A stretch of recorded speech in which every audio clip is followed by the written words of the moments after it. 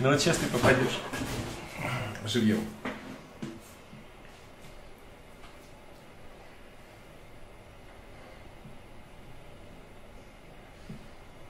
Привет, привет, дорогие мои зрители. Хороший пятничный вечер. У вас уже у нас уже 7 часов вечера, а у вас а у вас непонятно сколько, у каждых по-разному, да? Наверное. Сейчас мы посмотрим. Так, вот трансляция началась, извините. Нас пока не смотрит никто, нам зрители, но скоро, но скоро, скоро, скоро все придут. Олечка, привет! Алекс, привет! Лакомах Наздар. Волцомах, наверное, я даже не знаю, как правильно сказать до сих пор. А, привет, Игорек. Привет, Василий. В Питере 8... Это нет, что в Питере и в Москве 8 часов вечера мы догадываемся, потому что у нас 19.00, сейчас пока еще час, э, час различия, потом будет 2 часа, да, по-моему, когда на зимнее время перейдут. Здравствуйте, Маша. Элис, привет. Элис Сан. Володя, привет. Как там в Израиле? Как там у нас погодка? Расскажи.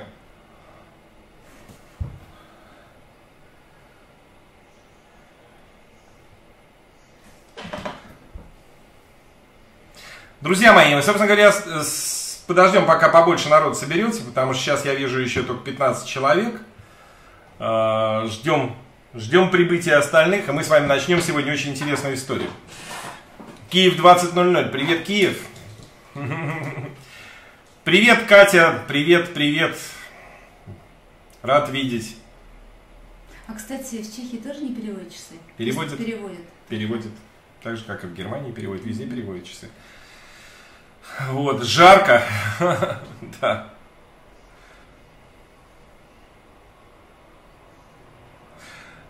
Жарко это да, я согласен. Но у нас, к сожалению, э, было не так жарко. У нас последние 2-3 дня было достаточно прохладно. Ну, как прохладно? 18-20. В принципе, такая классная погода для того, чтобы совершать э, паломничество на Пражский град. И стоять под дождем. И стоять под дождем. Вот сегодня, например, мы стояли под дождем. Я рад приветствовать в нашей студии э, мою подругу Наталью из Германии в данный момент времени. Да, здравствуйте. Вот, здравствуйте. Сегодня у нас будет очень интересный рассказ. А, сейчас мы еще, наверное, чуть-чуть подождем, буквально а, минут там пять, пока народ соберется, и начнем. На самом деле, я хотел снять видео, я вам хочу честно сказать, я хотел снять видео об этом, но потом подумал, что я просто не, уложу, не уложусь в нормальный формат. Потому что длинные видео смотрят, смотреть тяжело. А на трансляции это гораздо проще, потому что можно и рассказать, и вы выдерживаете и два часа здесь вместе со мной, поэтому как бы никаких проблем нет. Боже мой, два часа? Два часа. Воскресные трансляции у нас проходят по два часа иногда даже, да. Даже практически всегда. Правда, в прошлое воскресенье мне не получилось выйти. Солнце зашло, но плюс 32 никуда не делось. И что, оно не денется, и ночью, всю ночь будет плюс 32? В Израиле кошмар какой-то просто. Я думал, солнце никуда не делось. Солнце никуда не делось. Солнце никуда не делось в Санкт-Петербурге в белые ночи. А, так это самое. Давайте проверим там звук, связь, э, слышно нас, видно нас, как бы хорошо или плохо. Звук погромче, может быть, сделать. Нет? То чего-то вы примолчали. Я вас не вижу. Не пишите мне. Скорость хорошая, вижу интернета, значит изображение должно быть нормальное. Добрый вечер, Лика. Извините за вопрос не в тему. А если ехать на машине из Чехии в Словакию или Германию, как и где платить за платные дороги? За платные дороги платятся, значит так, в Германии дороги бесплатные пока. По крайней мере, до Нового года. Там после Нового года для иностранцев обещают ввести какие-то марки, по-моему, если мне не изменяет память. Что касается э, Чехии и Словакии, то вы покупаете такую марочку на первой заправке, на последней заправке в том месте, куда вы, откуда вы выезжаете. Например, если вы едете из Германии в Чехию, на последней заправке вы подходите и говорите мне, э, я не знаю, как она у нас называется, дальничная знамка. Дальничная знамка – это марочка, которую нужно написать номер своей машины, наклеить на стекло. Если вы едете на э, 10 дней она бывает на 10 дней, там, то есть она бывает на 10 дней, на, на месяц, на 3, на, на год, в зависимости от того, какая вам будет нужна. В разных странах по-разному, но вот это время имеется. У нас, по-моему, только на 10 дней, на месяц их практически нигде нет почему-то, да. Вот я, честно говоря, их не видел. На 10 дней есть, точно есть на год. А, и на месяц, наверное, есть. Наверное, есть. 10 месяц, год, да. Вот. Так что звук отличный пишут. Это прекрасно. Вшекнув и в пожатку. Привет с Израиловки. Привет, Ласка. Э, кстати, Израиль отметился самым большим количеством дизлайков за последние 30 дней. Парадокс. Мы сейчас смотрели статистику и увидели, что э, я, в общем-то, так как большинство просмотров все-таки идет с России, это где-то порядка 50% от всех просмотров видео, э, но большинство, вот как-то они переплюнули даже Россию в этот раз по дизлайкам. И, и много очень дизлайков приходит из Израиля. Видимо, у вас очень жарко, друзья, там, и, и народ просто не справляется с эмоциями. Вот. О чем я вам хотел сегодня рассказать? Я вам так расскажу. Вот вы видите рядом со мной прекрасную девушку, которую зовут Наталья, она мой старинный друг. И сегодня разговор у нас будет такой, знаете, очень серьезный и интересный. Я вам расскажу, я вам часто об этом рассказывал, иногда в моих видео я затрагивал тему беженцев в Европе, э, как бы некой пропаганды, которая там э, об этом как бы много пишет и говорит, да, и различной пропаганды, и то, и другое, и третье, и четвертое, да. И вот сегодня у нас есть прекрасная такая возможность поговорить с человеком, который, ну, можно сказать, прошел огонь, воду, медные трубы в, в Германии, в частности, побыв Э, и, в общем-то, и пребывая на сегодняшний момент да, э, в этой стране беженцем. Э, я расскажу вкратце, так бы просто вступление как бы о Наталье, как бы о том, что у нее произошло. Я не хочу сейчас, знаете, не хочу замыкаться очень на, на ситуации, из-за которой Наталья сюда попала. Я скажу так вкратце о каких-то как, ситуациях, потому что это очень долгая и болезненная история. А, связанная она вот, последняя часть этой истории была связана с молодым мальчиком, который э, в Москве, э, он умирал от рака, и звали мальчика Женя Петухов. Женя Петухов, вы можете погуглить, если забьете Женя Петухов. И э, проблема была связана с тем, что, к сожалению, для подобного вида больных, умирающих и именно от рака, именно от рака требующих э, сильные, более утоляющие, я бы сказал, наркотического характера, они, э, как правило, этого лишены в России. Да? То есть, э, Не как правило, очень многие просто вынуждены страдать. И, ну, да, и Наталья была ну, так сложились обстоятельства, да, что мне приш... да, так сложилось обстоятельства, что мне пришлось э, столкнуться, просто судьба столкнула. Я специально там никому не помогала до этого. Ну, ты была просто, скажем так, она была в правозащитной группе, если так можно сказать, э, самостоятельной, да, такой как бы энтузиастов, которые эту историю как бы продвигали, э, защищая этого мальчика Этот и других. Просто да. на меня свалился, мне Он меня просто свалился, да. Некуда, да, ему просто деваться некуда. Да. Она поселила его у себя дома. Это была очень грустная, плачевная история, мы все плакали, да, там, он в результате, естественно, умер. Но, суть... но без боли. Да, но без боли. общим нашим да. всем людям, которые помогали. Ну вот. Но э, суть в том заключается, что э, такой э, широты был скандал раздут, что на Наталью было оказано очень сильное давление со стороны власти. Но этот скандал был последний каплей. Да, да, да, да, да. Да, и поэтому Наталья в один прекрасный момент просто взяла билет. Вот, собственно говоря, мы об этом и будем рассказывать сегодня. Там не о том, что происходит в России или еще где-то, об этом вы знаете э, и так, и без нас. Ну, вот, скажем так, ее вынудили, вынудили покинуть Россию. Она села на самолет, да, и прилетела в город Ганновер, насколько я понимаю, вышла э, из самолета в городе Ганновер, подошла к полицейскому и сказала... На английском языке. На английском языке сказала заученную фразу я прошу убежище. Я прошу политического убежища. И, собственно говоря, получилось это именно в тот момент, когда э, в Германию нахлынули буквально сирийские беженцы, да, Не так называемые. Э, сейчас я поправлюсь. Э, там мы, ты понимаешь, они это воспринимают как сирийские беженцы, но Естественно, среди этих сирийских беженцев были албанцы, даже грузины. А, а, а, очень много из Армении. Очень много и армянин, с Балкан. с Балкан. Люди, которые бегут от каких-то экономических ситуаций. Вот все это в общей Северная массе, все это, Северная Африка, все это туда ломанулось.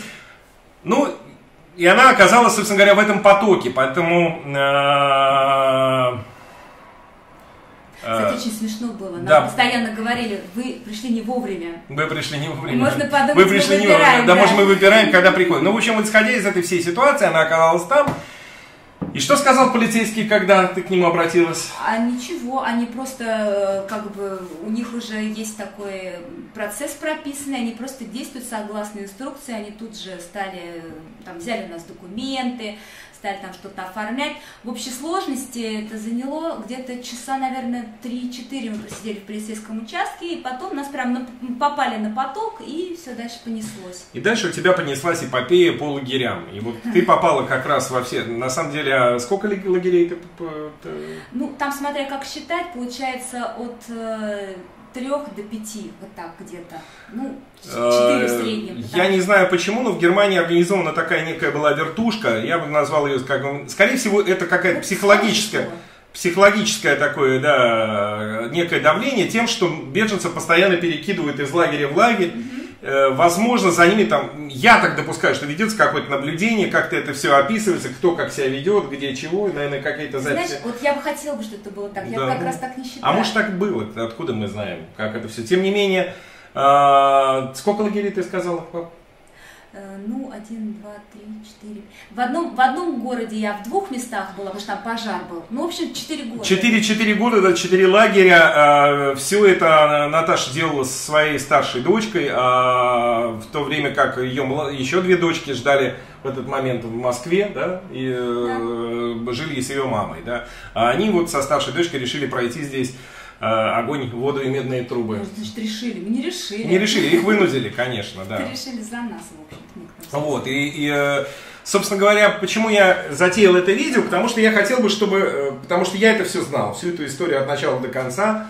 Мы с Наташей были постоянно на связи, и как бы она мне присылала и фотографии, там, как это все происходит, и как это все это выглядело и так далее. И э, э, Поэтому такая правдивая история из первого источника, да, о том, что там реально происходит, и кто эти люди, которые туда приехали, и, и так далее. Вот насколько я знаю, как мы уже сейчас обсудили, что в, в этих лагерях было просто ну, огромное количество народу с разных совершенно сторон, совершенно с разными историями, и многие даже не с политическими, а с какими-то экономическими. Экономических очень, экономических очень много. Но постепенно эти люди каким-то образом, я не знаю, стали исчезать, я насколько понимаю, да, на последнем этапе, сейчас, когда ты уже получила э, заветные документы, да, грубо говоря, э, с видом на жительство, как бы связанным я так понимаю, с политическим на, да, мотивом. Да, да. На, основании... на основании политического вот этого мотива э, э, вокруг действительно оказались одни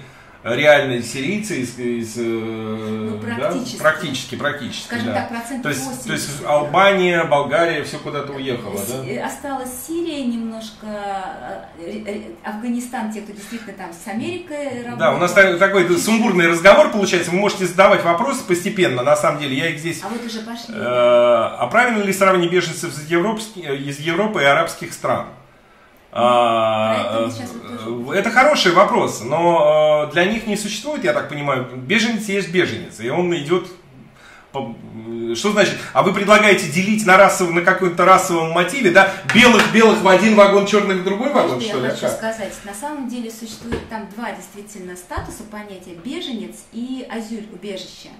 Я до конца так и не поняла, где проходит. Мы даже с юристом это обсуждали. Так вот, самое интересное, что мне дали оба статуса. И возникают такие проблемы, что э, в компьютере, когда меня там регистрировали в каких-то там других уже ведомствах на основании, не предусмотрено даже такого варианта, вносить оба этих статуса. Ну, это понятно, да, но тут вопрос вот напрямую прошел, а правильно ли как бы в одну А кучу, их в одну и, кучу? И, не надо, ну, ну, я, тем не менее, вот у меня тоже, если мы имеем в виду, что беженец это тот, кто бежит от войны, нет. Меня Нет, я имею в виду здесь, здесь я так понимаю, правильно ли азиатов с европейцами смешивать в одно место? Вот такой вопрос. А я не, нет, не смешивать, сравнивать. Ну, В каком смысле сравнивать? А что Там значит сравнивать? Я не совсем понял, Ласка, э, как бы, э, что значит сравнивать, как бы, беженц, с- в смысле размещать в одном месте? Я так понял, на самом деле.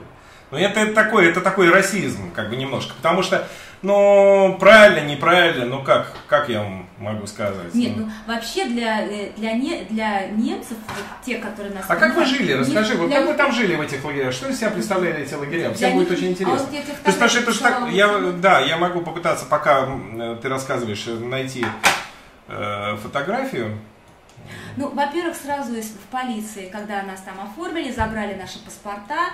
А, И, кстати говоря, до того момента, как нам дали статус беженца, у нас по всем документам почему-то стояло, что у нас нет паспортов. То есть как будто бы мы их выкинули. Я сначала очень сильно возмущалась, потом уже Ну, ну, ну, а как это выглядели? Как общем, выглядели эти лагеря? Полиция нас нам дали бесплатный билет. Значит, мы прилетели в Ганновер, и следующий лагерь, куда нас отправили, видимо, машина, компьютер там решила, что самое лучшее место для нас это э, Брауншвайг. Как брауншвейгская колбаса. Ну, в Германии это Брауншвайг. Это был один из самых... Вот, да, вот эта фотография. Сейчас, сейчас я покажешь, открою, да. сейчас я открою. Сейчас я открою, как Вот выглядели. это, вот это номер люкс. Сейчас они еще не видят, пока, подожди. вот. То, что ты сейчас Я покажешь. сейчас покажу, да. Ну, Вот смотрите. Сейчас видите, да? Это номер люкс.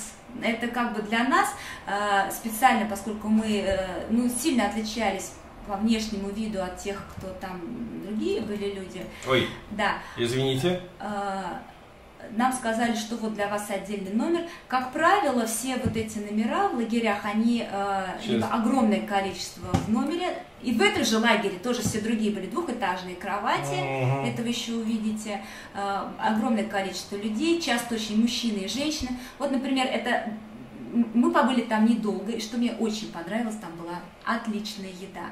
Э, Условия отличаются от лагеря к лагерю. Мы были в одной земле, то есть, в принципе, как бы там одни и те же законы, одно все регулируется одинаково. Тем не менее, в первом лагере еда была, ну, я ела с огромным удовольствием, действительно вкусная. М. Дальше, это вот следующий лагерь, куда нас перебросили, это, это То есть, не, то есть я правильно понимаю, вот как Ласка сказала, э, что независимо от того, там были все и белые, и черные, и зеленые, и какие угодно, все в одном месте. А как вот Все. делили на мальчиков и девочек? Вот там. Вот я сейчас, да, сейчас расскажу, ты как раз покажешь.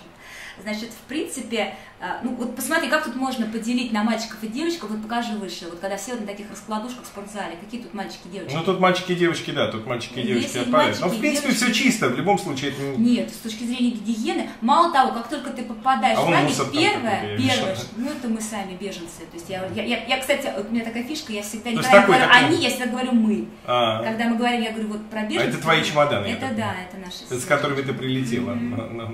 Вот я С точки зрения гигиены, вижу, да. первое, что они делали, они всех, э, врач- врачебный осмотр, температуру, все прошли через флюорографию, все беженцы, мы тоже с дочкой это Мгм. все сделали. А, то есть вот в этом смысле, это последний лагерь уже, где мы были Это, последний это день. ты смотришь повторы, уже они все это Мгм. видели, да. Вот.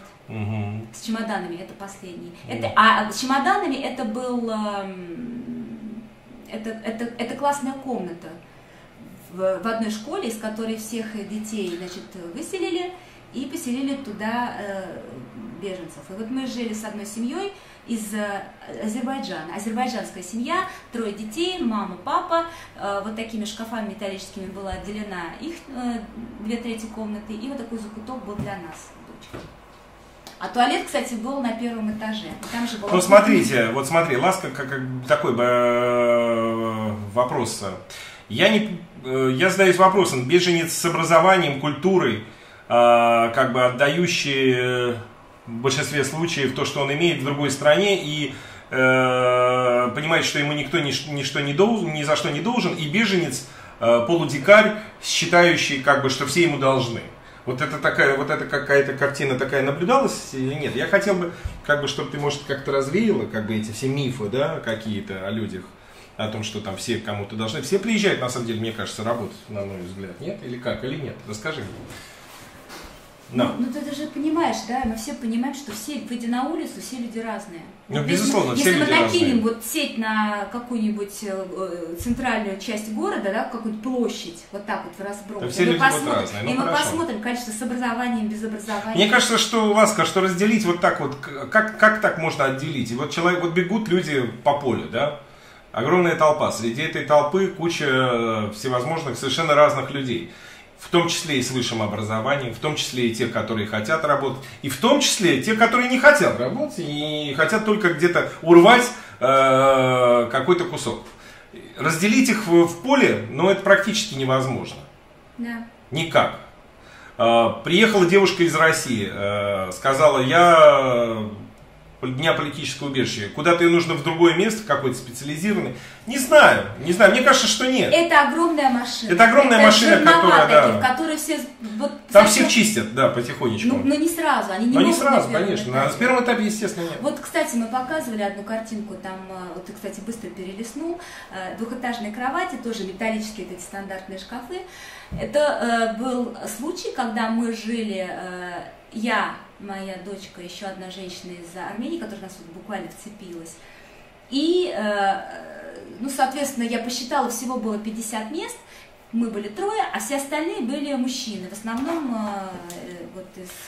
Э, Вот там некие люди, друзья, мы начали это видео 20 минут назад э, и полностью рассказали историю Натальи, за почему она сюда попала. Она из Москвы. Попала она сюда, потому что э, помогала людям, потому что был, Кто людям да, помогает. кто людям помогает, тут, да, да, это можно посмотреть в начале видео, я об этом подробно рассказываю, давайте не будем еще раз повторять, чтобы, потому что другие уже все это слышали. Ну, образованный человек тоже сначала был дикарем, пишет Михаил. Э, Безусловно, все, конечно, были когда-то дикарем. Но нет, ну, образованный человек не был дикарем, на самом деле, потому что образованный человек, как правило, родился у родителей, которые более-менее каким-то образом все-таки на него воздействовали, да, и он уже, в принципе, особенно диким не был. Здра- Я, кстати, хочу еще один момент, вот Да. очень важный сказать. Вот когда мы говорим об уровне, мы же имеем в виду, в принципе, образование, какой-то багаж культурный, который у нас есть. Но э, при этом мы должны учитывать, что у всех какой-то еще есть уровень интеллекта, да, потенциальная способность что-то впитать. И вот это тоже это очень важно. Очень многие из этих беженцев, вот, э, они, может быть, и недополучили. Та же самая война в Сирии уже длится уже не первый год. Знаете, я глубоко убежден, что когда мы маленькие дети, и когда мы только рождаемся, мы все одинаковые абсолютно. Нет, ну это тоже не так. Не, ну иначе это расизм получается. А уже дальше просто за счет той среды, в которой ты находишься, э, те- тех знаний, которые тебе либо дают, либо не дают, Нет, ну ты тоже еще можешь не получить, другие. но в принципе... Но я да. и говорю, что мы рождаемся живыми организмами, Это совершенно одинаковыми а, обычными, ни с какими там никакими отдельными как бы отличиями. Ни у кого хвоста не растет, правильно? Да, из золотых зубов. И изначально. да, из золото- золотых зубов изначально во рту не появляется, да, они появляются там почему-то, грубо говоря. Поэтому, а уже потом среда воздействует, и кто-то становится умненьким, кто-то не становится умненьким. Нет, безусловно, кому-то что-то дано, кому-то не дано. Это есть талант, да, такого, такого называемый. Но в целом, э, я, в общем, всегда э, как бы придерживаюсь такого понятия, что виноват уровень воспитания и культуры, да, то есть, то есть во всех проявлениях, да, в любой ситуации, как бы люди очень часто путают, чувств, Всегда часто, часто, да, и часто путают, говорят, например, вот, э, сирийцы, например, дикие. Но, друзья мои, на самом деле вы просто не знаете ничего про сирийцев, потому что среди них очень много очень умных и образованных людей, а, и в бо- в большинстве случаев это наиболее э, как ты сказала, Light. такой Вариант. light ислам, да, то есть там light вариант, легкий вариант, то есть там нет такого ничего прям. Ну, самый light, конечно, это Турция, скажем так. Самый light это Турция, Но они безусловно, уже да. но- уже но они, ну. Европа только сейчас они уже благодаря Эрдогану, по-моему, закатятся в другую сторону, к сожалению, да. Но э, элемент каких-то э, разных э, отношений к разным вещам в жизни, он присутствует. Естественно, э, мы, мы разные, это надо понимать. Да? Но если не обмениваться этой информацией да, с разными, да, то мы никогда ни к чему не придем, мы будем всю жизнь воевать. А, да, потому что мы как бы... Мы не даем ничего. Это замкнутый круг. Люди начинают вариться сами в своем Потому что вот этот вот то, что мы получаем, это как мы как бы как колпаке, который не позволяет другой культуре, да, Да, и, и глобально, может быть, даже вот эта ситуация с беженцами, она, я еще раз говорю, она такая, знаете, своего рода прививка. Не только для Европы, но и для, а, в какой-то степени, э, тех мест, откуда эти люди приехали. Ну, безусловно. Потому конечно. что они, приезжая, все равно видят что-то другое. Они начинают рассказывать своим э, родственникам. Они просто так. сталкиваются с реальностью. И они сталкиваются с реальностью, с которой, да, да, да, да, с которой они никогда в жизни не сталкивались. Поэтому да. Их столько разрушил. Кстати, я просто слишком много с ними общалась, да. столько у них тоже. Она вот прожила вместе с ними в течение года, да, сколько или двух, сколько ты это. Ну, значит, я, ну, нет, ну да. Ну, сколько, сколько ты была в лагерях? Так вот я до сих пор с ними. Ну и до сих пор она общается, потому что они ходят на вместе, да, на а, какие-то. Во-первых, мы на всякие эти интеграционные курсы интеграционные курсы, проходить, да. да. Я все это время очень плотно и, и Самое интересное, что для меня научила вот эта вся история, потому что я раньше я тоже воспринимала слово беженец как некое обобщенное понятие чего-то такой какой-то массы. Теперь я умею выделять, да, как вот для нас э, там какие-нибудь э, другие народы иногда кажется, ну, не видим за, да, за общими какими-то фенотипическими признаками. Но тут то же самое. Теперь я понимаю, что есть, что все совершенно разные люди с разным уровнем образования, с разным моралью. Да, да, да. Да, согласен полностью. Меня тут спрашивают по, по параллели не в тему. Здравствуйте, говорят, что Чехия самая бедная страна в Европе. Это правда? Но приезжайте в Чехию, увидите. Я не буду отвечать на такие вопросы, потому что это просто глупо. Для этого есть, в конце концов, Google. Можете погуглить, посмотреть про ВВП, про то, про все, про экономику и не спрашивать такие вопросы. Друзья, если какие-то вопросы будут глупые, я не буду просто на них отвечать. Пожалуйста, вы на меня за это тоже не обижайтесь, потому что наше видео посвящено другим темам сейчас. Э, так, э, я сужу по своей стране, не хочу сказать, что все одинаковые, все разные, но есть косяк большинство. Ласка, дорогая, э, дорогой, ой, дорогой или дорогая, я не знаю, кто за, за этим сейчас ником сидит. Я хочу сказать, что Израиль это отдельная тема, это, это постоянная война. И, к сожалению, я не хочу никого обидеть, но это тоже э, пропаганда и накачка. И ее можно объяснить, она а, объяснима, понятна, да, когда у тебя на улицах взрываются непонятные э, люди, да, и уносят с собой жизни твоих близких, да, то это, конечно, несет за собой определенный но вот в, таки, в такой накачке вообще истину найти никогда невозможно. Единственное, что я знаю, э, и в чем я вот сильно уверен, можете, но это мое личное мнение, у вас может быть другое мнение. Я не, я не могу судить о стране или о нации по каким-то отдельным индивидуумам, отдельным людям, понимаете, и даже по большинству. И если в этой стране есть 10%, ну вот, знаете, в моей стране есть 10% только нормальных людей. Ну, между вот, которые для меня нормальных. Я еще раз не хочу никого обидеть. С теми людьми, с которыми я могу разговаривать, а может даже меньше, а может и 5%.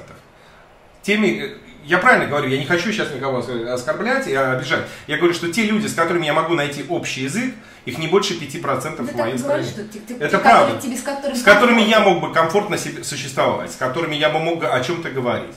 Должен ли я обо всех 95 этих э, людях страны сказать, что они уроды, недостойны жизни? Да, э, да боже упаси. Да боже упаси, правильно? Друзья, я вот про это говорю. И, ну что, сложный такой очень разговор, да. Э, Илья, я рас, рас, рассказывал о Наталье в начале видео, давай сейчас не будем, потом в, Наталье, в начале видео там полностью рассказано, почему Наталья сюда попала э, с какими-то данными, даже именами и фамилиями. В общем, ничего хорошего, из-за преследования в, в России она попала а правда, сюда. что в Чехии не пускают беженцев? Правда ли, что в Чехии не пускают, не пускают? В Чехию пускают беженцев, это, это, это на самом деле впускали до определенного момента, просто сейчас возник вопрос, но на самом деле так. Никто особо сюда и не бежал, в Чехию. По причине того, что э, те дотации, которые и те условия жизни, которые предоставляет Чехия, они в разы э, ниже, ниже норвежских или германских. Или Поэтому все бежали туда наверх. Вот, мимо нас. Поэтому у нас они останавливались. Сейчас же чехи э, решили как бы не брать беженцев, но это не очень сильно получится, потому что придется заплатить большие штрафы, потому что это от вступление от э, каких-то договоренностей, которые были заранее получены. И, ну, кто-то вот считает, что лучше заплатить штраф, чем держать беженцев Кстати, там. смотри, в Чехии надо работать. Работать надо еще. везде. В Чехии просто пособие а, тоже да, есть, но они да, ниже. Да, да, да. Значит, поэтому как бы я не знаю, что будет дальше с беженцами, но вот пока, пока такая ситуация, что типа беженцев не хотят и готовы заплатить за это штраф. Даже огромные штрафы там. Типа это будет дешевле. Я сомневаюсь. Я, я не знаю, что из этого дальше получится. Посмотрим. Посмотрим. Пока не боюсь сказать. Группировались ли беженцы в какие-то группы? Наблюдали ли вы конфликты среди разных групп беженцев? И как на это реагировала полиция и охрана? Вот это, кстати, хороший вопрос. Хороший вопрос, да. Потому что э, он отвечает на очень такой Э, сейчас вот мы говорили в основном про сирийских беженцев и начали с того, что а, вообще на самом-то деле беж... Э, национальное разнообразие беженцев, я прям как про биологию, э, гораздо шире. То есть там и из бывшего СНГ огромное количество, из Кавказа, из Балкан, из Северной Африки, из, там, с Камеруна, да, да, да, откуда только не было. А, ну, естественно, из Сирии и так далее и тому подобное. И изначально вот это было так. И вот как раз-таки на этот период приходился самые вот, э, ну, какие-то, вот те самые негативные моменты, о которых, вот, на которые и обращают внимание, говоря о том, что беженцы такие все плохие и ужасные. Вот, например, да, действительно, ну, было, было, я видела, то есть, когда был э, какой-то там праздник э, мусульманский, э, как раз я была в э, Брауншвейге, Брауншвайге, uh-huh. и ты, там, значит, две группы действительно дрались африканцы христиане и африканцы мусульмане. И, ну и балканцы тоже. То есть там вот они Христиане же... То есть на лицо абсолютно а, одинаковые. А на лицо одинаковые, но дерутся. Одни за христиан, другие за мусульман. Да. Но, все, но все, извините меня, лица да, э, да. А, африканской национальности. Это, да. было, кстати, было очень страшно. Это очень страшно, Это да. было, с одной стороны, страшно, с другой стороны, Слушай, так получается, для полиции это тоже вообще Слушай, нонсенс, потому что они не понимают вообще, что происходит и как они это все... все прекрасно понимают. Mm. Вопрос в том, что, а, ну, они не могут... Э, вот, это тоже для меня был вопрос, почему? Вот там, например, был человек, который бегал с двумя ножами, с огромными, со столовыми. Но для меня э, на следующий день встретить этого человека в нашей э, столовой, где мы едим, который вчера там бегал с этими ножами, размахивал. А он против мусульман был или против? А я даже не знаю, мне это неинтересно было. Мне mm. сам факт, он бегает такой, знаете, как, как пират у него сюда, значит, вот так вот эти ножи, за, за, запнуты за пояс был. И вот он там бегал. Полиция было смешно, значит, у меня огромное окно, мы свет выключили, потому что первый этаж. Mm-hmm. И я, с одной стороны, страшно, с другой смешно, потому что, как знаете, раньше в немом кино меня, значит, пробегает сначала толпа, там, одна беженцев, потом То за ними вот бежит такие, полиция. Там были стычки причем такие. они именно как Ну хорошо, а они как-то разнимали их или нет? Ну да, а у нас вот... Э, а тебе было странно, что ты этого человека потом увидела?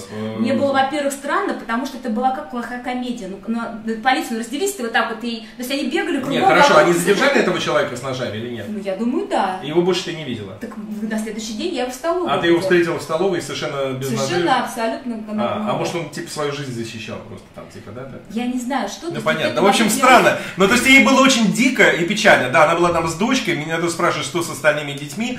Остальных детей потом а, спустя сколько? Э, год? Нет, нет, быстро, очень быстро. Мне Спусть... помогли.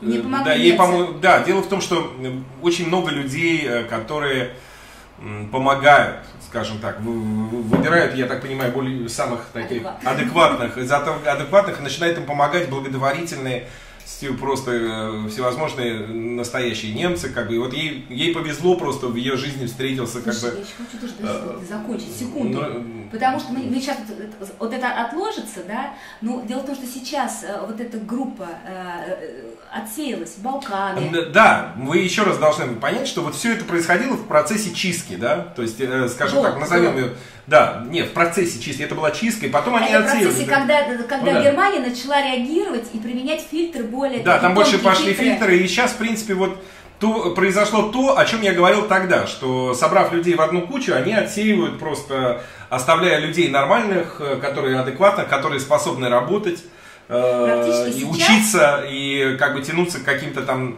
чему-то новому, потому что вот ты сейчас общаешься... Нет, никого нет, остались одни сирийцы. Даже остались одни в основном сирийцы, и сирийцы, в общем-то, реально люди, которые, ну, скажем так, ну, не, не, не, не тупые, да, насколько я понимаю. То есть это люди, которые у тебя там были, вот и парень в институт там поступ, да, что-то там да, из института. Это, это, это наш друг адвокат, допустим, да, и так много, далее. То есть, много адвокат, очень много, очень много, очень, очень много с высшим образованием людей. Не, не думайте, что Сирия это какая-то там прям такая вот ну, затрапезная. Другой вопрос какой, конечно. Другой вопрос, какой там адвокат и какой у них там институт, но в любом случае на их уровне это, наверное, что-то значит. Ну это говорит о том, Да, это говорит, что человек не ленился. Вот. Э, дальше.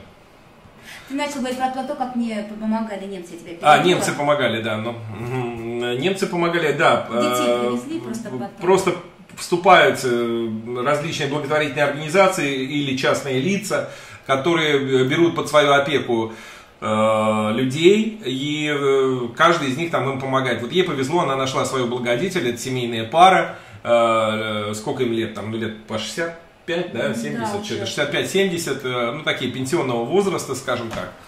И они, в общем-то, как опекуны, ее взялись и помогли ей, в общем-то, правильно составить да, какие-то да, документы, да, и тогда очень много для нее сделали, и она вызвала сюда, прилетели ее детки, с, с, мам, с, с мамой, с мамой, с мамой, да, они сделали ей приглашение с мамой, они здесь остались в результате с мамой, а ее мама улетела обратно. То есть в результате они сейчас там с тремя дочками, как бы, и у них все хорошо. В данный момент все ходят в школу, э, старшая ходит в институт, уже она уже э, в университет, она совершеннолетняя, но она вообще очень талантливая девочка, поэтому как бы э, все в общем-то все в общем-то неплохо. Так, э, израильские Израильские арабы нашего министра называют не иначе как фашистом, потому что он предлагает обмен территориями северии. Тут вопроса нет, тут просто как Да, это очень, да, это, это, да, это рассказ просто. Я понимаю, да.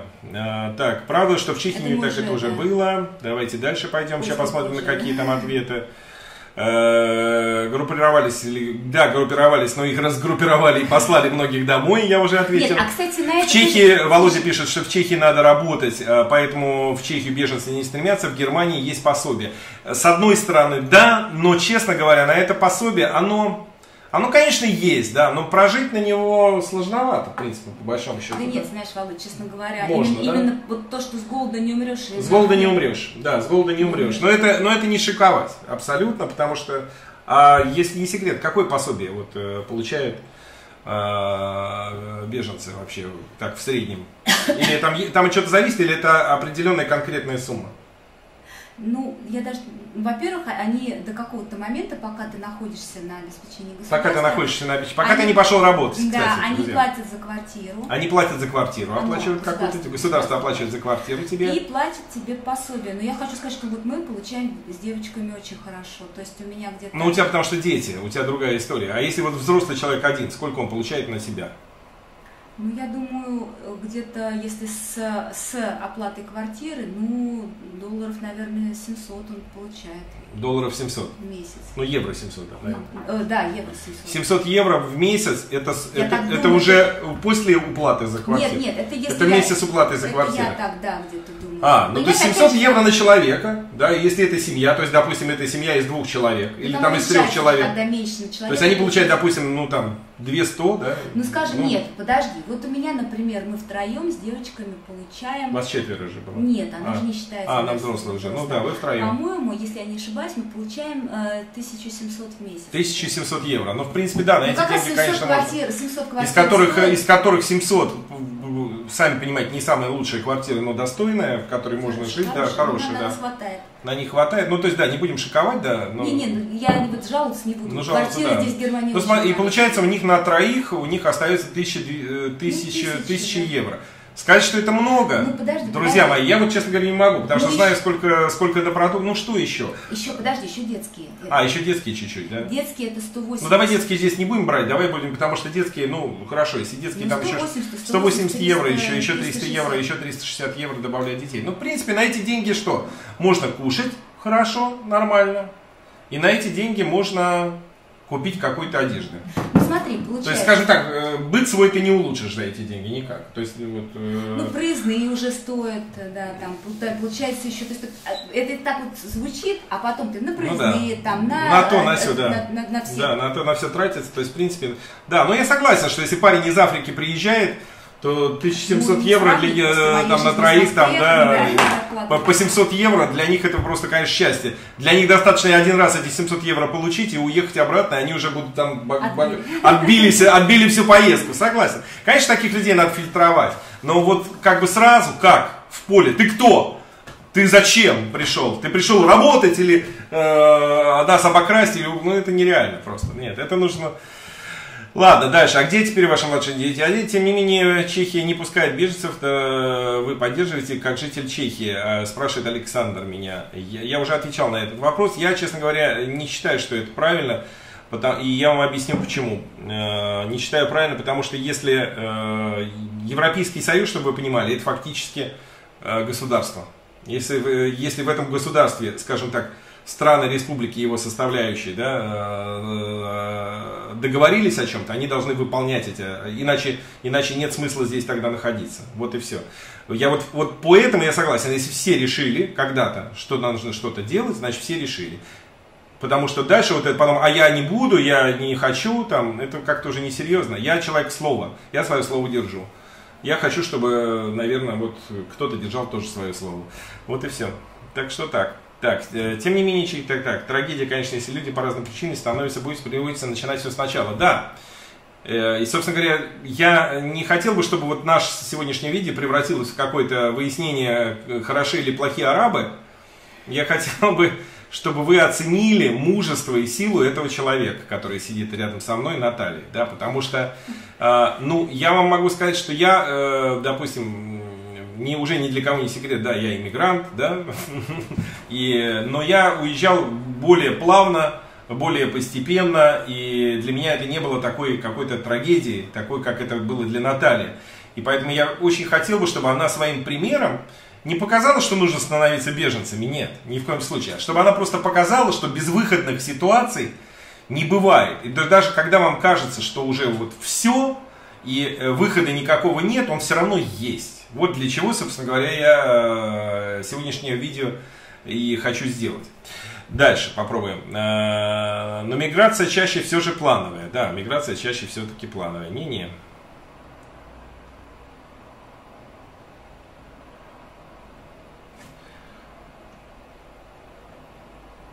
Коммуникация с кем? Так. Каким образом происходит коммуникация? Думаю, что английским далеко каким не образом, Думаю, что английским... Да, каким образом происходила у тебя коммуникация? Да, действительно, вот интересно. Но ты знал английский, а вот вот эти люди, которые были из, там, э, ты говоришь, из Африки, из Албании, там, не знаю, они, на каком языке они там со всеми общались? Ну, на самом деле, Английский знают очень многие. Очень Английский многие. знали очень многие, да? Да. Но у меня были ситуации, когда, например, э, очень часто мне приходилось переводить как раз э, людям из, из Кавказа, Кавказских республик, в лагерях. Я переводила на английский, потому что доктора там знали английский, понимали. Изначально все было только на английском. Французский, многие из Африки знали французский, ну как-то мы коммуницировали ну, да. общались. Не, ну, в общем, английский в основном был в основном, главным языком, да. да. Михаил спрашивает, получается, что те, кто не э, из территории, где идет война, по сути, воспользовались ситуацией. Правильно. Да, Вы совершенно правильно. Так и получается, что львиная часть людей, которые... Ну, не, ну 50 процентов. 50 процентов ну, меньше? Считал? Я не знаю, я не могу просто... Да, давайте не будем называть цифры, но их много. Много людей, которые присоседились как бы к этой ситуации и, скажем так, и вот в этом, в этом трагедия. Вы должны понять, что в этом как раз трагедия у этой уравниловки. Я наблюдал много за нашими э, э, комментаторами, ребятами, друзьями, знакомыми, которые в Фейсбуке. Вот эти все ситуации, когда, вот помните, через поле бегут, и говорят, надо их остановить. Я говорю, ну что их расстрелять в поле? Вот даже если там есть один хороший человек, Спокойно. даже если есть там хороший один человек, их нужно всех собрать и, и разобраться в этой ситуации. Понимаете? Человеческая жизнь, она бесценна. И нельзя кого-то там загнать, убить, а, иначе тогда и с вами так когда-нибудь будут делать, ну, понимаете? Знаешь, тут, а тут получается, когда ты... Я согласен, но нельзя. Вот они в поле все бегут. Их, их собрали просто в лагеря, разместили и разбираются, кто из них бежит потому что у него дом сломался, и в него бомба упала, а кто-то бежит, потому что он у себя на родине там что-то заработать не может и хочет таким образом легонько влезть, грубо говоря, в ту ситуацию. Понимаете? Вот, это разные ситуации, но в них надо же разбираться, но ты же в поле не поймешь то, что там получилось. Понимаете, вот плывет лодка, в лодке э, 100 человек, да, в этой, среди этих 100 человек э, 10 там или 20 или 30 реальные Сирии, другие из каких-то других ситуаций, третьи из четвертых ситуаций. И, и какая-то тоже значительная часть людей, которые под это подмазались, подстроились и так далее. Вот. Ну, конечно, хотя вы знаете, это же огромный риск вот на этой лодке переплыть, они же все переворачиваются, они же там тонну, тоннами просто эти люди, понимаете, это трагедия на самом деле, все это очень большая трагедия. Сейчас, конечно, уже это все не так выглядит, как бы печально, как выглядело в те вот минуты, когда беженцы просто наполнили, вот это был прорыв основной, да. Сейчас уже, конечно, это все не так выглядит, но тем не менее, это, конечно, все трагедия очень большая для всех. Кстати говоря, хочу сказать, что когда мы про, про интеллект, про желание работать, очень многие говорят, что там сидят, ничего не делают. Вот я, э, ну, видимо, еще я общаюсь. Я слышал такую версию, кстати, от многих э, людей, что вот я по этой теме, я просто на тебе усилию этот вопрос. Они говорят, ну ты подумай, Володя, ну вот как могут люди, которые из Африки, которые никогда не работали за, за там типа и не умеют просто в принципе работать, нигде ни на кого не работали, я вот, честно говоря, не совсем понимаю, ну как это нигде ни на кого не работает? Они все равно где-то на кого-то работают. Нет, ну что, если мы называем работой копания траншеи... Да, одно дело копать траншеи, да. Есть, почему, допустим, интеллектуальный труд, за интеллектуальный труд, казалось бы, ты сидишь и нифига не делаешь, да, просто... С одной стороны, да. но ведь это потому что эту работу может сделать меньшее количество людей, а копать траншеи может каждый, да? Я согласен, но... Вот если с этой точки зрения мы с тобой Вот э, вернемся обратно, потому что мы соскочили с мысли, Э, готовы ли эти люди работать, которые едут? Вот в твоем, в твоем окружении среди тех. Ты знаешь, это как в том анекдоте. Помнишь, опрос в интернете показал, что интернет, среди пользователей интернета показал, что интернетом пользуется 100% э, людей. Дело в том, что я могу, э, э, я ну, могу хорошо. описать, подожди, я могу описать только тех людей, с которыми Давай, я хорошо. Опиши тех людей, с которыми ты пересекался. А пересекался я где? Если там, допустим, на А, ты пересекался уже там, где они пришли работать. Где они пришли работать и учиться. И они все учатся. Хорошо. А учат язык. Этих людей много? Да. Ну, значит, да. их большой, большой, значит, их большая часть, значительная Знаешь, часть, которая просто, хочет работать. Просто, ну, я вот очень не люблю все-таки конкретизировать, поскольку... Ну, понятно, потому что статистику мы не вели, мы, мы не, не да, и не можем, не можем прям так, но все-таки, ну, ну, прости, ну, как не можем? Мне кажется, что их очень много, по моим ощущениям, то есть все, все те люди, с которыми я общалась, беженцы, которые уже здесь, то есть, как, вот я так скажу, мне кажется, что два года это уровень языка B1, они все, мы все сдаем, а B1 это это э, intermediate. Да, вот как бы это средний Неаполь, это, это, это вот э, ровный средний уровень. Когда ты можешь общаться, можешь понять, можешь объяснить. Все учат язык. То есть это не тот вариант, когда мы знаем, что многие даже наши русские живут за, за рубежом. Согласен, согласен, согласен. Дальше.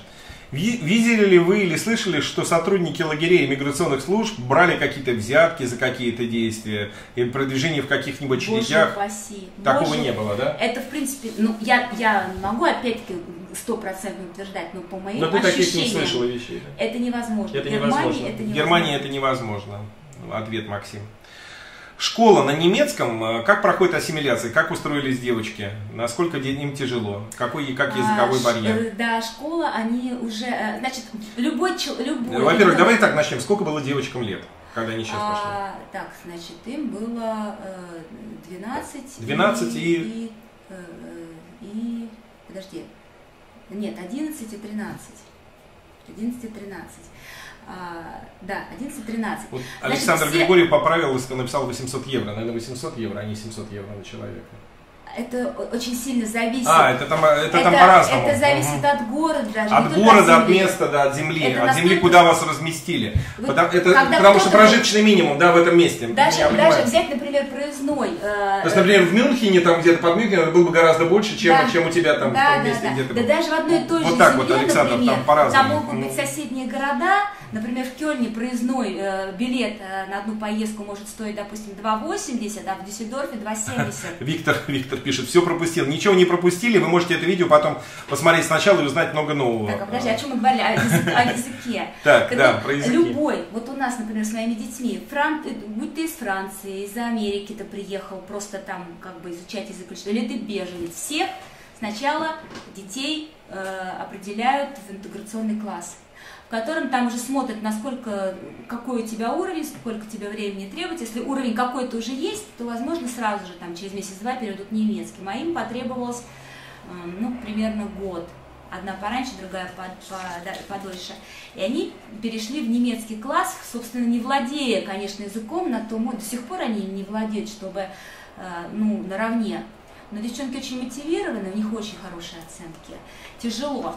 Сначала они жутко страдали, потому что без языка, ну и мне самой, это очень сложно. А, тут меня спрашивают, добрый вечер, интересно смотрим ваше видео, подскажите, пожалуйста, каким вы путем получили гражданство, если не секрет. Я получил гражданство на основании э, того, что я живу в этой стране больше 10 лет э, и выполняю ее законы, э, исполняю те э, необходимые условия, которые необходимы для получения, а именно там э, я получаю зарплату, я не тунеядствую, да, я не, не я плачу налоги, я не Э, состою на учете каких-то там э, благотворительных вот этих, ой, не благотворительных, вот, ну, грубо говоря, помощь Конечно. государство мне никакой не, да. Э, государство мне не платит никаких, никогда не платило никаких помощи за последние три года, и тогда я могу, в общем, все подать, документы, их будут рассматривать, но, а так как я в этой стране нахожусь не, очень давно, и фактически у меня вид на жительство в этой стране 17 лет уже, то есть мне было это не так сложно, как только у меня было 10 лет непрерывного здесь пребывания, э, я подал на гражданство, ждал это в течение полутора, двух, полутора лет, и через полтора года мне дали положительный ответ, чему я очень э, признателен, потому что это моя любимая страна. Ладно, но это все в моих видео есть. Так, э, так, дальше. Получается, беженцам дают ВНЖ. Да, беженцам дают ВНЖ, но это все не, не быстрый процесс. Очень интересный и момент. очень интересный момент. По поводу, да. Вот по расскажи, поводу, да, по поводу фильтрации, фильтров, которые запустились, э, э, ну, вообще очень гибкий стал процесс э, отсеивания, да, выявления эм, ну, соответствия истории человека тому, что статус беженца. И после, вот буквально недавно как-то, ну, я не, могу, не берусь сказать, когда точно, значит, этот закон был изменен, и теперь большинству э, беженцев из Сирии дают не статус, вот этот, как раньше, три, три года сразу давали, а там как-то называется, субсидарная защита, что-то типа того, не буду врать. Это действует год, а после этого года там смотрят, э, изменилась ли ситуация или нет эти, эти люди теперь, которые получили год, не могут вызывать своих ни детей несовершеннолетних, ни жен, ни... Ну, то есть все сложно стало для... Стало очень сложно. Сложно, но можно. Ну что можно? можно? Нет, они не Не, ну конечно, они... друзья, я никому, еще раз говорю, это видео не рекомендация становиться беженцами абсолютная, да, потому что это видео просто рассказывающее о, о ситуации, которые в жизни бывают, да. Если у вас нет реальной ситуации, потому что у Натальи была реальная ситуация, которая заставила с угрозами жизни ее и ее детям, которая заставила ее покинуть свою родину и, в общем-то, без особого желания, э, ну, спасая свою жизнь, как бы вот пойти на такой шаг. Э, ну вот у меня, в общем, за что я ее очень уважаю. А вот этих сейчас серий... Да, ну у тебя сейчас, да, у тебя сейчас вид на жизнь. Сейчас мы расскажем, чем, чем ты там, как, как там твое трудоустройство и так далее. Вот здесь меня спросил Александр, просто у меня друг живет, говорит, и рассказывает, что работать э, не нашел, не пошел работать, потому что ему предлагали меньше, чем пособие. Но давайте смотрите. Вот смотрите, пособие 800 евро мы с вами уточнили, да? Если пособие 800 евро, работа на стройке, если мне не изменяет память, сейчас то ли 11 евро, минимальная оплата труда, час. То есть меньше 11 евро, уточните мне, немцы, если кто здесь есть из Германии, или 10 или 11, я не помню, сейчас, по-моему, 11 евро в час вам не может заплатить э, тот, кто вас нанимает на работу. Соответственно, если вы возьмете даже 8-часовой рабочий день, у вас получится 8, 80, евро, сколько там, 90 э, евро в день, да? Соответственно, за 20 рабочих дней у вас никак не получается 800 евро. У вас получается в два раза больше. Настройки. Слушай, еще что Это настройки, это просто неквалифицированным рабочим. И, кстати, еще что хочу сказать. Поэтому, как бы, не думаю, что он прав, этот, он, наверное, просто лентяй. А, кстати, еще хочу сказать, вот сейчас, по поводу того, что беженцы не хотят работать, в связи с тем, что у них у всех теперь годовая виза, они кровно заинтересованы тем, чтобы найти работу, если они хотят еще здесь остаться. А, если они не, если, смотрите, если они не устраиваются на работу, их выгонят, фактически и, не, не продлят. Если у них ситуация к тому времени, скажем так, вдруг в Сирии все остановится война и все будет замечательно, то сразу же все... Да, то они сразу едут домой. Сейчас и ситуация изменилась вообще с этим совсем. Поэтому вот. А, на фирмы с него берут проценты, на руки выходит 1200 евро. Ну, 1201 можно вполне жить. Не, он говорит, что такое пособие, не бывает такого 1200 пособия. на человека? Да, Нет, не, не не, такого не бывает. Нет, нет, нет. Ну, я такого не слышала. Наталья, а в России совсем поддержки не было? В России поддержки была, если... А что значит поддержка? В каком э, смысле? Ну, имеется в виду правовой поддержки. В России Нами занималась Ну, правозащитная организация. им У нас за- была- занималась правозащитная организация. У Как, он- как юрист. называется это я, самое? я даже это не Human, нет, не Human Rights, другая, я сейчас не буду. Ну, в общем, занимались и юристы, и адвокаты, которые... э, то есть там было страшное, нелепое, совершенно страшное и нелепое гонение на людей, которые просто э, говорили о том, что неправильно оставлять людей, э, умирающих людей в диких болях, муках и э, не помогая им ничем. Вот, собственно говоря, и был поднят на эту тему очень большой э, скандал. э, Это только часть рассказа. да, это самом часть деле. рассказа, на самом деле там очень много событий, мы не хотим, не хотели, потому что это отдельное видео просто Это нужно. долго это, и не да. нужно. В частности, вот в данном случае речь шла о мальчике, которого звали еще раз э, Женя Петухов. Женя Петухов, э, который умирал в Москве от рака и в диких мучениях совершенно. И Наталья взяла его, приютила, как бы разместила дома. И как бы полностью за ним ухаживала, и в принципе он тебя дома Ну, уже... я и- ухаживала. Ну я не ты ухаживала, ты мы обеспечила, обеспечила, обеспечила. Мы это, все, да. все вместе просто. Все вместе, там была целая группа людей, которые взялись за эту помощь. И когда был раздут скандал в прессе, вы ссылку. можете найти, в Нет, конце мы концов. можем дать ссылку на это. Да, я оставлю ссылку на, в описании к ролику потом. «Время», да, программе в «Время». программе «Время» даже об этом говорили. Но началось гонение, начались угрозы, чтобы все попридержали свой язык, чтобы не э, раздували шумиху и так далее из этих ситуаций. И угрозы были очень серьезные, можно сказать, жизни, поэтому как бы Наталья приняла... Минимум свободе. Да, э, как минимум свободе, да. Э, И Наталья как была вынуждена покинуть э, Россию. Вот так. Так, так что она у нас герой, между прочим. Ой, да ладно, Валла, не. Да, самый настоящий. Я бы так не смог. Хотя, наверное, смог бы, если такая ситуация поставила. М. В жизни так поставил. Наталья, в России так поддержки не было, я тоже ответил. Владимир, расскажи подробнее о вашей э, подруге. Василий, есть по, по- по- парадки, есть по- нормальные отзывы. То есть там, там проблема том- с тем, что она очень э, долго отвечает всем на письма, а больше там никаких других э, историй я не знаю. Там пишут какую-то ерунду люди где-то там в комментариях. Я, честно говоря, даже не, смотрю на это серьезно, потому что я задаю людям прямой вопрос. Если это вас человек обманул, напишите, опишите ситуацию, и все. И люди пропадают, сливаются просто моментально. Их просто нет. И я, значит, делаю вывод, это конкуренты. А, Всегда нужно оставаться людьми, пишет Вот да. Михаил. Это правильно. Вот я, вот это вот самая главная тема. Михаил, большое спасибо, Михаил Герман. Вот э, действительно, надо всегда оставаться людьми. Мы люди. Мы не можем поступать как-то вот на, как, как не люди.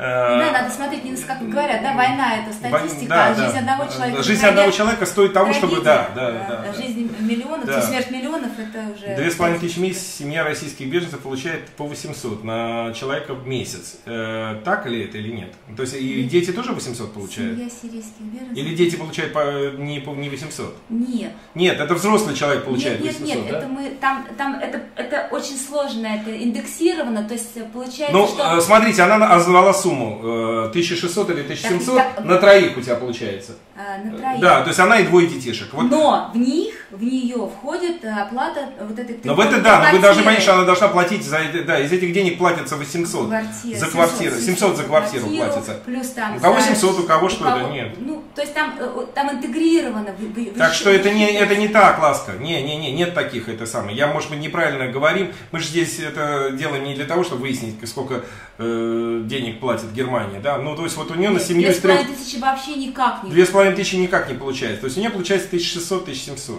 Это, да? Э, 1600 или 1700? 1700. э, И из них еще платится квартира. Ну, вот. Так, мы с подругой едем учиться в Чехии, получили ВНЖ, но получается это разрешение на долговременное принимание с целью учебы. А есть ли разница в видах ВНЖ? Да, разница есть, э, Александр. Э, вы, вы молодцы, что эту визу, что получили этот вид на жительство. Через два, когда вы закончите, э, скажем так, вуз, вы сможете поменять э, вид пребывания. Например, если вас возьмут где-то на работу, вы не выезжая из страны, чем я вам рекомендую заняться, это сразу поиском работы, чтобы вас где-то взяли. И если вас возьмут, вы просто поменяете здесь, не выезжая из страны, не подавая заново в консульстве в том месте, где вы родились, э, визу на уже рабочую, скажем так. Вот так вот. На сегодняшнем, по сегодняшним законам это разрешено делать в течение через два года, по-моему, или через, раньше, через два года после э, получения. То есть через два года вы можете поменять тип визы. Учебный. Так, 8,5 в час, вот пишет Андрей Суворов, 8,5 евро в час. Э, не знаю, 8,5 евро в час, Андрей, э, может быть, я, честно, уже было 10, когда я был Э, занимался, там я делал, был объект один в Берлине, и была сумма больше, чем 8,5 в час евро. Возможно, возможно, там просто на этом, в этом месте, да, ну хрен его знает, не знаю. Даже 8,5 евро в час это в любом случае больше, чем 800 долларов в месяц. Э, разница есть. Цель учебы предпринимательская, рабочие беженцы. У каждой свои заморочки. Не понял, Володь, это, наверное, вы там по контексту этих самых комментариев. А когда беженец находит работу и получает статус ВМЖ, э, пособие больше не выплачивается, да. Это пос... никак не связано. ВМЖ ты можешь... Э, Не-не-не-не, он не про это говорит. Нет, нет, нет. Он говорит, что когда человек... Тут э, смотри сквозь. Суть в том, что да, как только вы устраиваетесь на работу, у вас пособие больше не платится. Да. Причем это может произойти даже и до получения статуса ВМЖ. То есть, это может быть были. до или после, это не важно. Вы, э, это так же, как я сейчас, вот я сейчас работаю, получаю зарплату. Если у меня вдруг что-то случилось, я прихожу, прихожу на уджет працы, это как бы уджет працы, я не знаю, как уджет привести, но неважно, не короче говоря, э, Министерство труда, и говорю, слушайте, меня, я потерял работу, дайте мне Э, дайте мне помощь. И мне выплачивают там в размере той зарплаты, которую я получал, от нее какой-то процент, да, в течение того времени, чтобы я нашел работу. Я же уже все имею, я даже гражданин Чехии, да, и мне все равно выплачивают. Точно так же, то есть статус пребывания ВНЖ, ПМЖ, там, э, самые беженцы от этого не зависит. Это вам просто помогают, да, грубо говоря. Но, как только вы идете на работу, вам перестают платить всяческие э, пособия. Да, и беженцы, кстати, они могут работать через уже, по-моему, три месяца или полгода после того, как они... Беженцы, но, да, да. Но это сложно, это но надо, это, сложно, это очень бюрократично надо пройти. Там бюрократично, да, я знаю, тем более там язык, да, хрен еще на Там очень сложно, если ты хочешь. Так, и правда, что сейчас, э, чтобы сделать бизнес-визу, надо э, сейчас прожить 5 лет.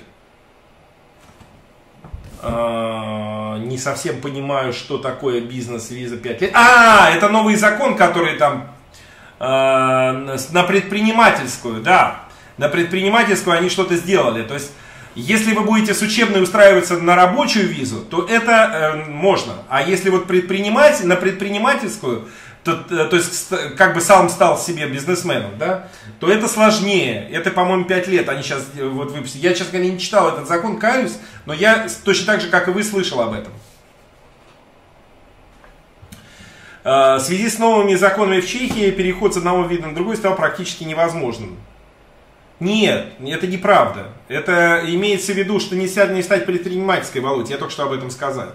Но э, человек, который э, имеет студенческую визу, может устроиться на работу и получить рабочую здесь внутри страны. Неправда это. Вот.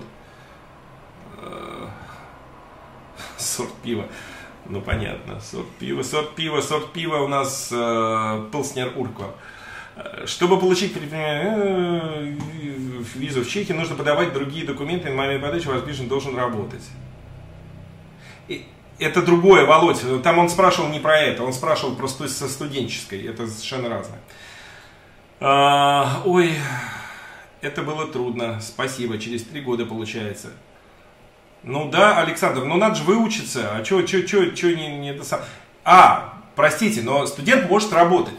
Студент может всегда подрабатывать вообще без проблем. Как правило. Сту, и, как правило, студенты все подрабатывают. Вы не бойтесь, студент имеет право работать. Вы можете работать какие-то, не знаю, очень много студентов работают официанты. Там, еще там есть ограниченные по часам, да, вы не можете работать там целый рабочий день, но вы можете работать по вечерам. Очень много студентов работает э, в лист. В лист. А я тебе объясню, я тебе объясню, друзья, вот если мы отклоняемся от темы, но тем не менее, работа в ресторане или в каких-то таких заведениях, да, вечером, она гораздо лучше, потому что я вам, честно говоря, на опыте моих друзей, молодых ребят и девочек, и мальчиков, которые точно так же. Почему? Потому что вам не требуются там мозги. Ваши мозги там отдыхают. Это серьезно. Это правда. А если ты не так сдачу дашь? Это, Ну, я шучу, Нет, ну шучу. это там отдыхают мозги, они действительно отдыхают. Это не умственная э, работа. Если многие выбирают, нет, я не пойду там официантом, что это мне официантом, я лучше пойду там где-то, его где-то, может, взяли, где-то он сидит в каких-то бумажках, там что-то крапит, так у него вот на это все время, у него... Ну, согласна, да. Это гораздо сложнее, чем э, подносить кофе, честно. И более того, это, как правило, там, где кофе, можно больше заработать, потому что есть чаевые. Вот, если хорошо улыбаться. Так что не бойтесь этой работы, ничего страшного, все через это проходят. А студенты еще пока могут улыбаться. И Студенты еще могут улыбаться. Так. О, будем стараться устраиваться на работу. Минимальная оплата часа труда 8,50, Андрей еще раз повторил. все, я понял, Андрей. Спасибо большое. Значит, я там просто в том месте, где был, там платили 10 или 11. Это уже как бы выше минимальной оплаты труда. У меня поэтому так отложилось. Спасибо. Но все равно 8,50 это нормально. За два года изменить тип визы, э, это в прошлом. С новыми законами 5 лет. На предпринимательскую, Илья. Э, Со студенческой такого нет. Студенческая это другой тип визы. Со студенческой вы можете получить рабочую. Рабочую визу можно получить всегда с любой. Э, А вот поменять буквально, да, я стал предпринимателем, поменяйте мне, да, 5 лет. Или, так что об этом речь идет. О предпринимателе. Там так прям так и сказано в законе, я читал там чуть-чуть, я просто не до конца, но там было написано о предпринимательской визе. Вот, еще Илья пишет, что можно иметь же настенский лист. То есть вы можете, не знаю, заниматься э, кройкой, ле- лепкой и шитьем. А, а, вот, а Володя пишет, что работая официанткой проще выйти замуж. Володь, это хорошая э, тема. Ну, В принципе, работая официантом тоже можно жениться. И Запросто. я замуж выйти тоже. И замуж можно выйти, Володь. Точно, точно. Супруг человек, который получил студенческую визу, имеет право на работу или нет? Не знаю. Ой, я не знаю, ребят. Вот честно говоря, мы уже Это уклонились. дебри. Вы уже в дебри, да, это надо э, новое видео, я тогда должен буду С снимать юристом. с юристом каким-то, да, занимающимся вот такими вопросами, потому что мы сами... Более того, я не был студентом в этой стране, и откуда мне знать? Я был предпринимательскую, я еще что-то вам могу Нет, а сказать. тут вопрос даже не так надо ставить. Супруг человека, который получил студенческую визу, может ли получить какую-то визу в принципе здесь? Э, Имеется же воп- э, Я поэтому- такие, я, я вам так скажу, э, Алексей, я такие варианты слышал. Я слышал, что, но э, поймите, там есть такой момент, что когда кто-то по тебе получает визу, ты должен доказать, что ты этого человека можешь Можешь содержать. содержать. То есть, если у вас есть там, наверное, какая-то сумма на счету или что-то такое, наверное, это возможно. Почему нет? Если этого нет, и нет работы, которая дает эти деньги, как бы, ну, тогда да, тогда могут и не дать. Бедный юрист. Ну вот, так что у нас какая-то тема, мы ушли опять вообще не туда, мы, мы, мы, мы здесь говорили о прекрасной девушке Наталье, Кстати, которая... пошли дальше. А где мой муж? Давал ли моим детям согласие на выезд из России? Нужно ли такое согласие для беженцев? Ну, у меня ситуация особенная, потому что Мы были в разводе, да, и уже... Муж погиб. Муж погиб у нее, да. Вот, муж, муж умер, поэтому его разрешили. Помимо всего, она еще и мама-одиночка, видите, вот так вот. Не одиночка, а, скажем так, вдова. Вдова, да. Вот. Так что, а вообще, меня поправили, а вообще поправили, нужно. извините. У меня есть знакомая, вообще согласие как бы нужно, потому А вообще согласие, конечно, нужно. Нет, да. просто иначе как дети сами же не при... Если бы А, нет, чтобы детей сюда получить, Привезти. да, да, да, чтобы детей привезти нужно. А чтобы, чтобы получить беженство, это не нужно. Ты могла бы уехать и стать беженкой без проблем. А, ну тогда изначально, то есть в любом случае, если второй родитель есть и дети остаются вторым родителем, как они выйдут без его согласия? Вот Михаил пишет про Радку, ждите, Радка ответит, не ответила через три месяца. Представляете, ужас какой-то. Конечно, э, ребят, друзья, я, еще раз говорю, я эм, схватился, я знаю эту женщину, я с ней много э, всего полезного как бы для себя лично и для моих друзей сделал.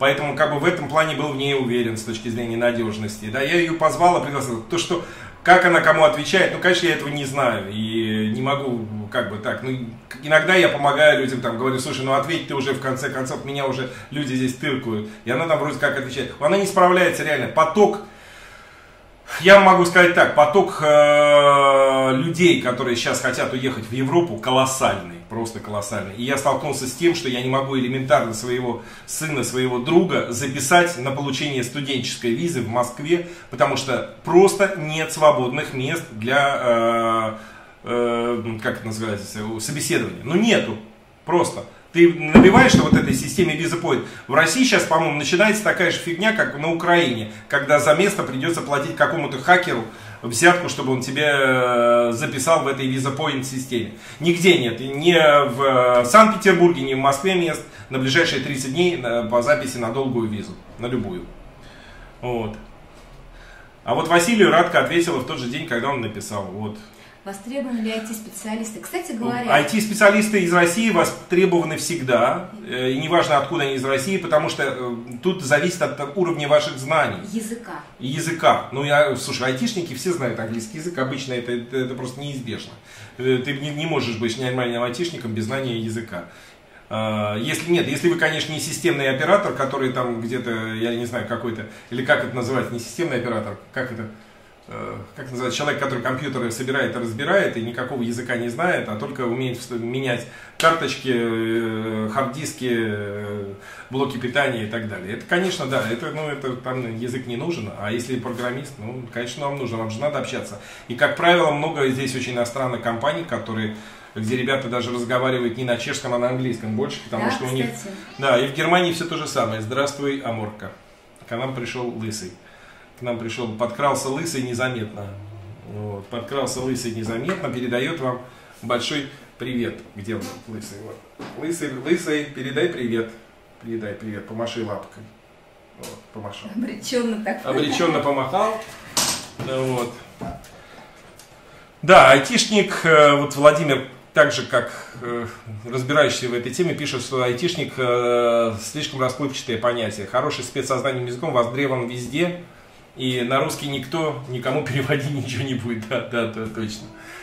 Сумму на счету в Чехии несложно показать. Как я слышала, банки предоставляют такие услуги. А, а, почему многие едут, раньше вопрос, почему многие едут из Чехии в Германию? Из Чехии в Германию. Неужели настолько все плохо а в Чехии? А, нет, а он совершенно прав. Чехи многие едут работать в Германию, потому что там больше зарплата. Ну, действительно, это правда. А стоимость жизни такая? А стоимость жизни меньше здесь у нас, конечно. Так значит, там больше зарплаты, стоимость жизни выше? Ну, многие, многие не умеют взять в руки калькулятор, понимаешь, и не берут руки калькулятор, не считают, потому что э, очень много факторов, которые э, говорят вам о том, удобно вам в этой стране жить или неудобно, да, приятно вам в ней находиться, э, хватает ли вам на все или не хватает. Многие думают, ага, я сейчас получу 2500 евро вместо 1000, но в результате они спускают на жилье э, и на то, и на другое как бы гораздо больше денег, чем в том месте, где они получали тысячу.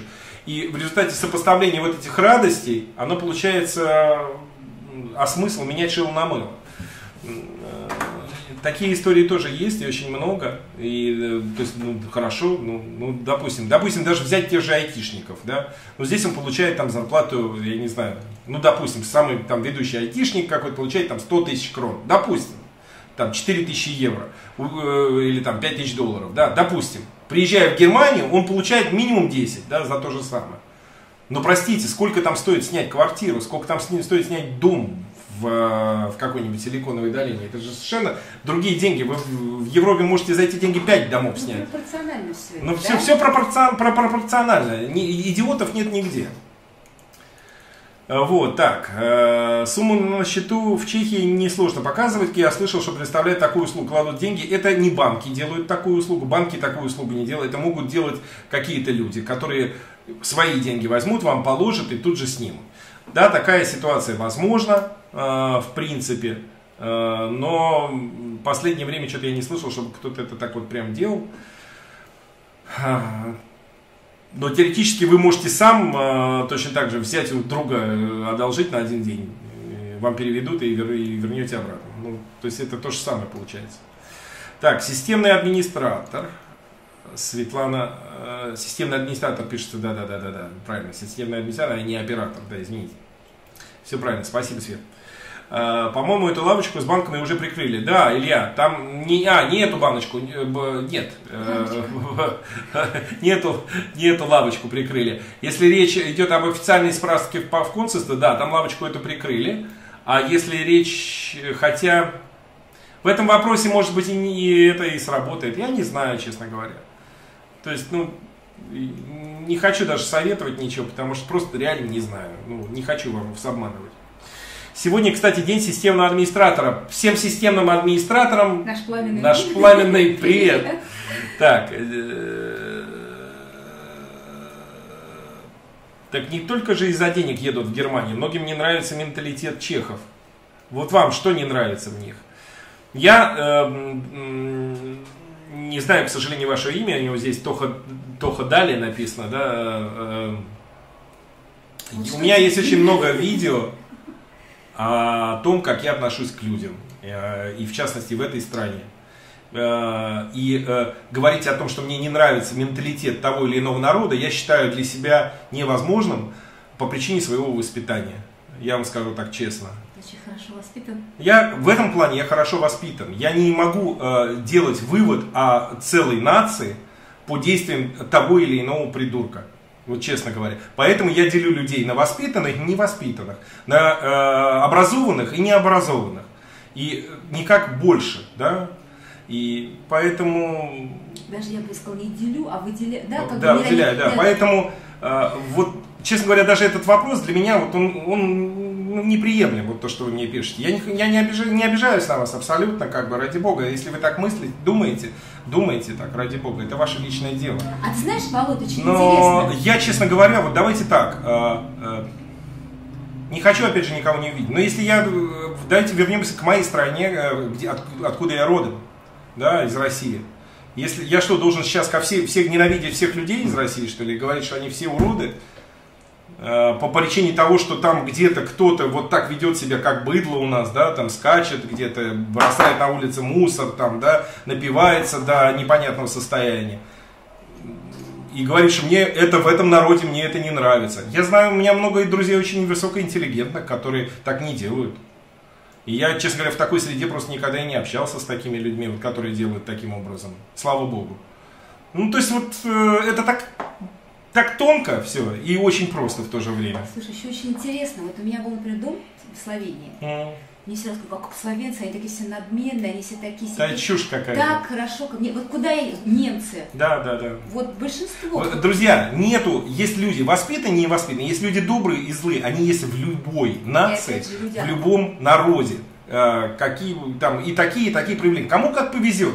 Возможно, вам того дали, не повезло, и вы где-то вот наткнулись на какой-то негатив. Я допускаю такую возможность. Я еще раз процитирую одну историю про одну девушку, которая когда-то два года назад у меня в ленте на Фейсбуке написала, «А, как нас русских ненавидят, перед моим окном, перед моим лицом закрыли обмен валюты и отказались мне менять, менять деньги. Я вот это послушал, говорю, вы понимаете, что там одни арабы работают?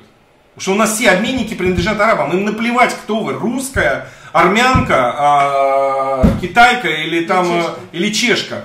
Они не могут, исходя из вашей национальности, сделать какое-то действие. Это просто глупо и неприемлемо вот, в данной ситуации. Вот и все. Поэтому, как бы, знаете, кому как повезло, кому как чего показалось. Дайте слово гости сказать. Скажи, пожалуйста, а, а вот, кстати, Властимир пишет, идеальный про Чеха є працювати німецьку не по-браковську. А, вот, вот он правильно написал, извините, я сейчас еще часто ответишь. А, просто предыдущий вопрос был. Как раз повторяясь по теме, почему чехи едут работать, вот идеальная, пишет ситуация, работать в Германии, в Австрии, но жить в Чехии. Понимаете, вот в чем дело. То есть это точно такая же э, ситуация. Вот мне тоже идеально сейчас поехать в Силиконовую долину, или, скажем так, мне идеальнее было бы быть блогером э, в Нью-Йорке, да, нежели чем э, на русскую аудиторию вещать.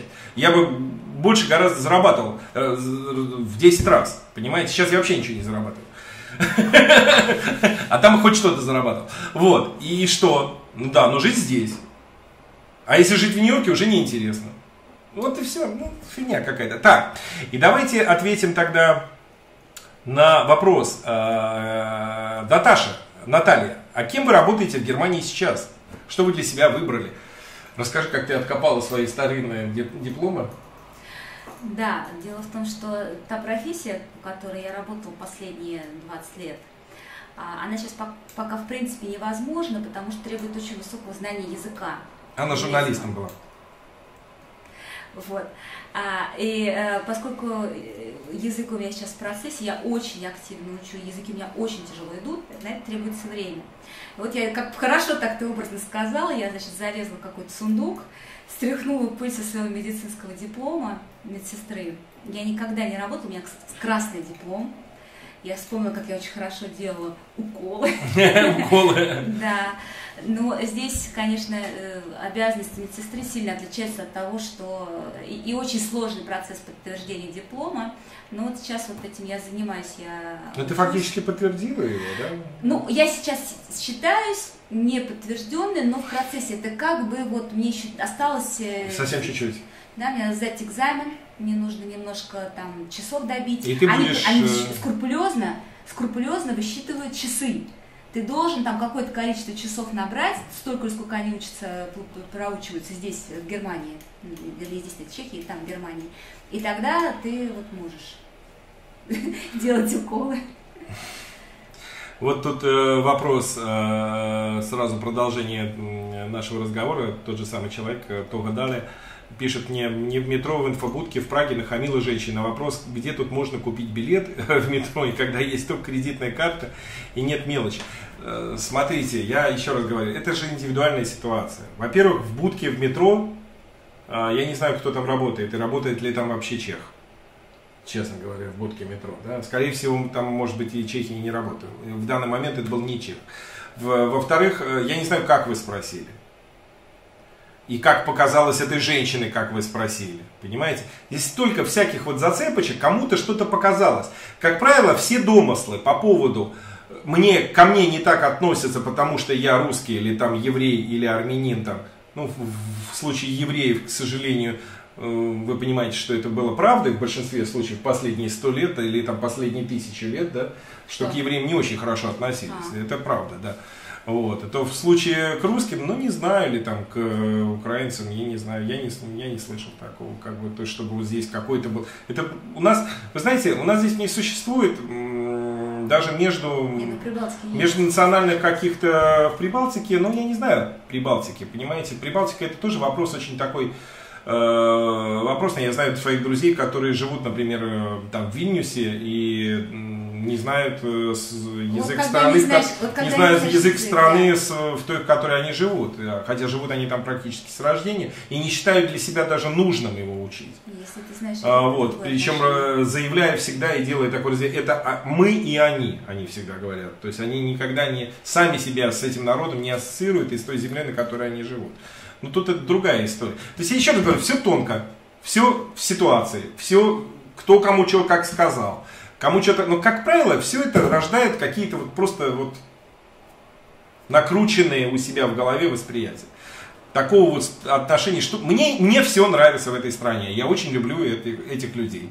Есть ли среди них плохие люди? Есть. Есть люди, которые меня обманули и кинули? Есть. Есть люди, которые мне помогли в трудный момент? Есть. Есть люди, которые придут в любой момент ко мне на помощь, как только я позвонил в ночи? Есть. Вы понимаете? Все точно так же, как и везде. Просто нужно язык знать, наверное. Вот и все. Все одинаково. Все люди во всем мире одинаковые. Есть такие, есть такие.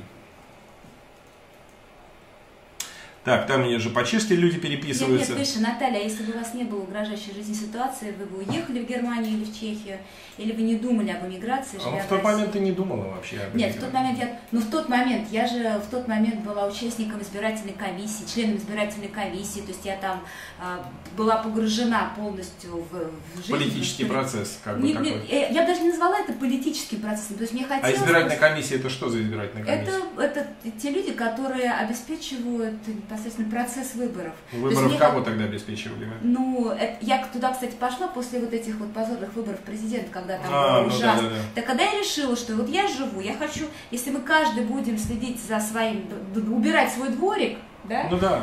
Ну я пошла в Ну нашу правильно, жизнь. жизнь советского человека, к сожалению, да, она заканчивается дверью своей квартиры, да, никого ничего не интересует. Если бы все убирали свой дворик, да, а не Ну, только бы. свою квартиру, то тогда было бы, наверное, больше толку, это правда, да. Но из этого у тебя ничего хорошего, я так понял, не получилось. Ну я надеюсь, что хотя бы какой-то, там, я в двух, в двух выборах. В двух дворах ты приняла- что-то приняла участие в выборах, да, Ну вы там не допустили никаких бросов, выбросов.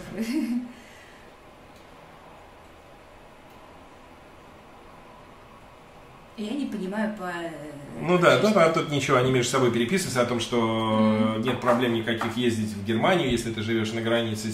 Да, вы должны понимать, что, как, конечно, современный Европейский Союз, э, здесь нет никаких границ, и э, любой э, там, чех или немец, они могут перемещаться там, или австриец, там, перемещаться друг к другу в государство, работать там без всяких проблем, возвращаться и так далее. Что? Перед... э,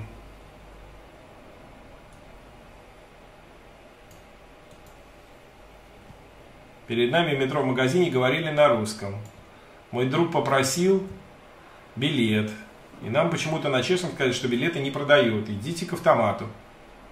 Внезапно с русского на чешский перешли.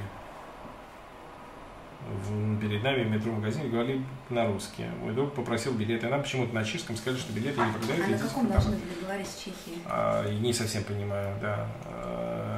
А, Вы знаете, как правило, кажется все это. Не знаю, честно. Но я не слышал, я никогда не натыкался. Но... Ну, зачем так демонстративно вот это? Ну, да? э, демонстративно, знаете, как бывает. К сожалению, я не хочу в данном случае, Элис, как бы ни в коем случае вас обидеть, да, но обычно я вижу, как это бывает. Наши соотечественники все, я имею в виду из постсоветского пространства, я называю всех их соотечественниками из СССР, э, к сожалению, не очень хорошо воспитаны. И, э, как правило, не умеют даже сказать, не вследствие того, что они плохие люди, нет, а вследствие того, что они достаточно закомплексованы и не умеют сказать ни здрасте нормально, да, не самое. И когда если к человеку обратиться и не сказать здравствуйте там и так далее, может быть, может быть какая-то реакция такая, знаешь, какая-то сквозь пальцы, но, честно говоря, не знаю. Вообще, мне кажется, уже из области Но психологии. это из области психологии, да, что-то здесь, что-то здесь. Вы знаете, я думаю, что если мы чего-то ожидаем всегда, мы это притягиваем. Оно само к нам попадается, вот, честно говоря. То есть, если мы боимся чего-то встретить, потому что вот этот вопрос, а как к нам здесь относятся, вот, вот, я обсуждал, об этом снимал много видео уже, даже не буду еще раз об этом говорить, он очень часто от наших соотечественников с вами, б- бывших, да, звучит. А как к нам здесь относятся? Да какой вы человек, так и относитесь. Я еще раз повторюсь, миллион на сто первый раз. Если вы умеете себя хорошо Да вести, тоже разное. вежливо, да? Да тоже это все так настолько Ну индивидуально. да, это все индивидуально. Кому-то, как хорошая поговорка, всем мил Ну не да, будешь, всем да? мил не будешь, да. Если лю- люди разные встречаются, конечно. Так, если я говорю на чешском, в случае моего, ни с каким негативом я никогда не сталкивался. Вот я тоже, э, я в Чехии тоже, нет, я с тобой не соглашусь тоже, потому что я здесь действительно не столкнулся ни разу с негативом. То есть достаточно улыбнуться человеку здесь, и все, у тебя сразу все хорошо. У них это действует как по А, улыбнулся, значит, я ему тоже улыбнулся. Но если ты приходишь и что-то просишь э, на русском языке, тем более, что, ну, может быть, Нет, у меня бывали случаи. на русском обращаешься, когда можешь вызвать какую-то негативную реакцию у людей, а с какого ты, собственно Нет, говоря, я хочу сказать, Ну, что не нет, знаю. бывает, бывает. Это у Бывает. меня бывали, потому что к беженцам тоже специфично. Ну, у тебя к беженцам, Подожди да, да, да, нет, секундочку, но я хочу сказать, когда я, например, встречаюсь с какой-то не, не той реакцией, как такую я бы ожидала, которую я считаю нормальной, адекватной, я, э, ну, в большинстве случаев, то есть не, не делаю из этого трагедию, а просто, ну, подошел, попросил билет у кого-то другого, например, спросил, почему бы нет, зачем, как, да, наверное, они так и сделали. Ну, может быть, не знаю, трудно сказать, и сейчас здесь. Мне Ну, казалось, что тоже, может, подумали, что это было невежливо, но мы не Вот, и расстроились. отлично. И правильно, вот на такие моменты лучше не обращать внимания. Не, вот правильно, Элис, не, не, не задумываться вообще о том, кто чему кому сказал. Это вот, ну, Идешь дальше. было у дальше. плохое настроение, может, ему жена не дала, или, извините, извиняюсь за выражение, или его жена бросила, имеется в виду, или его муж, ее муж бросил. И вот его, ну, вы попали в тот момент, когда он только что трубку повесил, сказал, что я сегодня не приду, я пошел к своей там э, Вареньке ночевать. Может, И все. И в этот момент не тебе говорят, а как здесь билет, объясните, пожалуйста. Да идите вы там, вот у вас табличка там, идите туда нахрен. Ну, может такое быть, может быть так. У каждого из нас такая ситуация может быть, правильно, в жизни? Да. Ну, теоретически. Так что... Ну, тебя же никогда, ты же себя так никогда Ну, не мне никогда не было, потому не, что... не пошлешь на табличку. Не, я не пошлю на табличку, но это я не пошлю. Ну, понимаете, ну таких, как, еще раз говорю, так как я, как я больше нет. Так как ты тоже. Так, э, никто не может обидеть. Все зависит от того, кому как относится. Да, э, кто как к этому относится. Мне показалось, что да, та, та, та, та. Вы скучаете по России? Хотели бы вы вернуться обратно? Да. Скучаете? А, знаешь, я скучаю по России, и мне, конечно, очень не хватает моих а, друзей, коллег русского языка. Да, давайте так. э, Действительно, наверное, это не, не- я поправлю тебя, наверное. Все-таки это не скучание по России, а скучание по общению, общению, к которому ты привык. Да, да, да, да, да, Правильно? да, да, ты очень То есть это не каким-то делаешь. местностям. Вы поймите, Это не по березкам, Да, это не по березкам. Земля, она меняется постоянно. Вот, например, я не был там как-то в Москве 7 лет, приехал через 7 лет, я вообще не узнал своего города. Вообще, это не мой город. Там другие здания, другие тротуары, другие улицы, другие дома. В этих домах живут другие люди совершенно, понимаете? О чем мы можем говорить? Скучают люди обычно по общению, которого нет. В частности, в моем случае было все проще, потому что это было там постепенно и так далее. Э, В случае Натальи у нее было все очень быстро и э, с сирийцами и албанцами, и с сирийцами и албанцами на борту, условно говоря, да? То есть, Ну, то есть э, от высоких материй, обсуждения да. э, философии и там, да, человек, который был э, высок- высокоинтеллигентным, да, попадает в среду, к которой он просто не привык.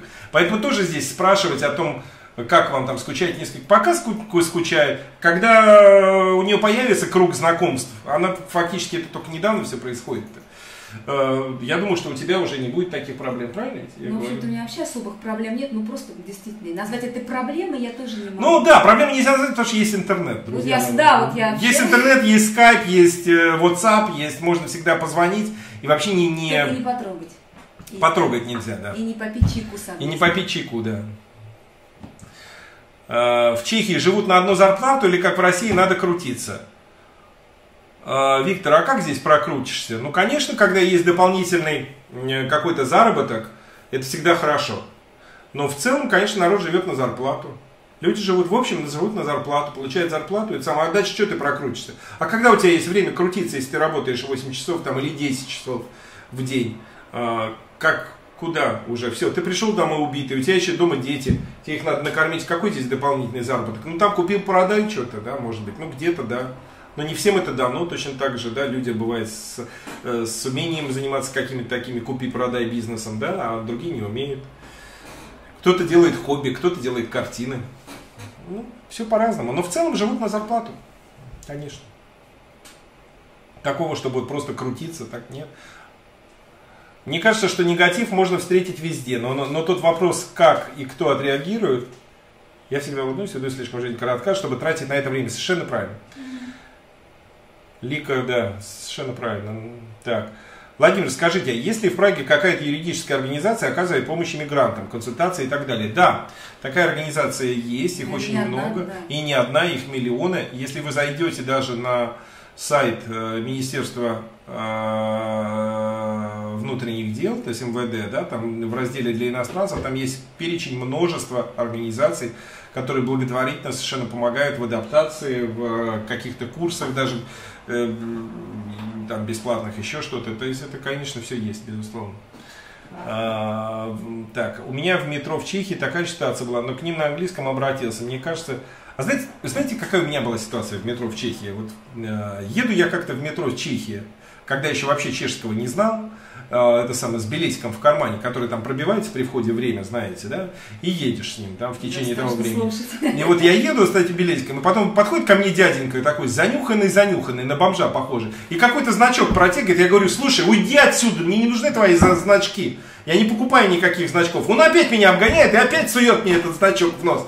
Говорит, купи. Я говорю, да не покупаю я значков. Улыбаюсь ему, говорю, я не, не мне это не нужно. И потом мне один там человек говорит, это контролер. Я говорю, «А». Вот такая ситуация была. От чего? От того, что я языка не знал. Потому что я не понимал, что человек Обидел не говорит. контролера. Я обидел контролера, назвал его продавцом э, значков. Меня Это, знаете, как гаишник, а он продавец волосатых палочек, приблизительно так. Не, он мне не отомстил, но он ржал надо мной на самом деле, потому что я от него отбивался, говорил, не нужен мне твой значок, уйди отсюда, не хочу ничего покупать.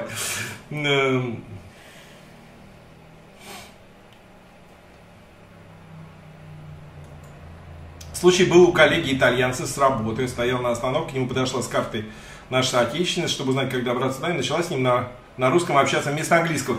Это то, о чем я говорю. Они почему-то думают, что все э, здесь должны по-русски говорить, но это совсем не так.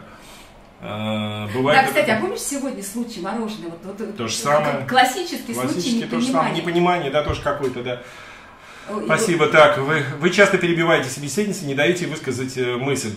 Я не даю тебе высказать мысль. Скажи, зачем что... ты не даешь? Я не знаю, зачем я, э, зачем я тебе не даю У меня уже мыслей никаких не осталось. У нее просто мысли, я ее, я ее направляю. Я постараюсь этого не делать. Хорошо, Таня. Так, э, Наталья, как я поняла, вы медсестра. Возможно ли прожить на зарплату медсестре с двумя несовершеннолетними детьми? Хороший вопрос. Кстати, сколько получает медсестра? Ну, опять же, все зависит от того, сколько ну, ты Давай начнем в среднем просто как-то. Да? Ну, на, э, на старте э, это где-то около двух тысяч, соответственно, минус налоги. Ну, мало. Вообще, вообще медсестры, медсестры, ну, минус налоги, это, это существенно. Медсестры, а сколько с двух тысяч евро платятся налоги? Дело в том, что э, вот меня неправильно поняли, я же ведь еще не медсестра, я же говорю, я подтверждаю диплом, но я разговаривала. Ну, неважно, и вот да, мне она говорит я в будущем. спрашивала, я спрашивала, сначала э, стартуешь с двух тысяч.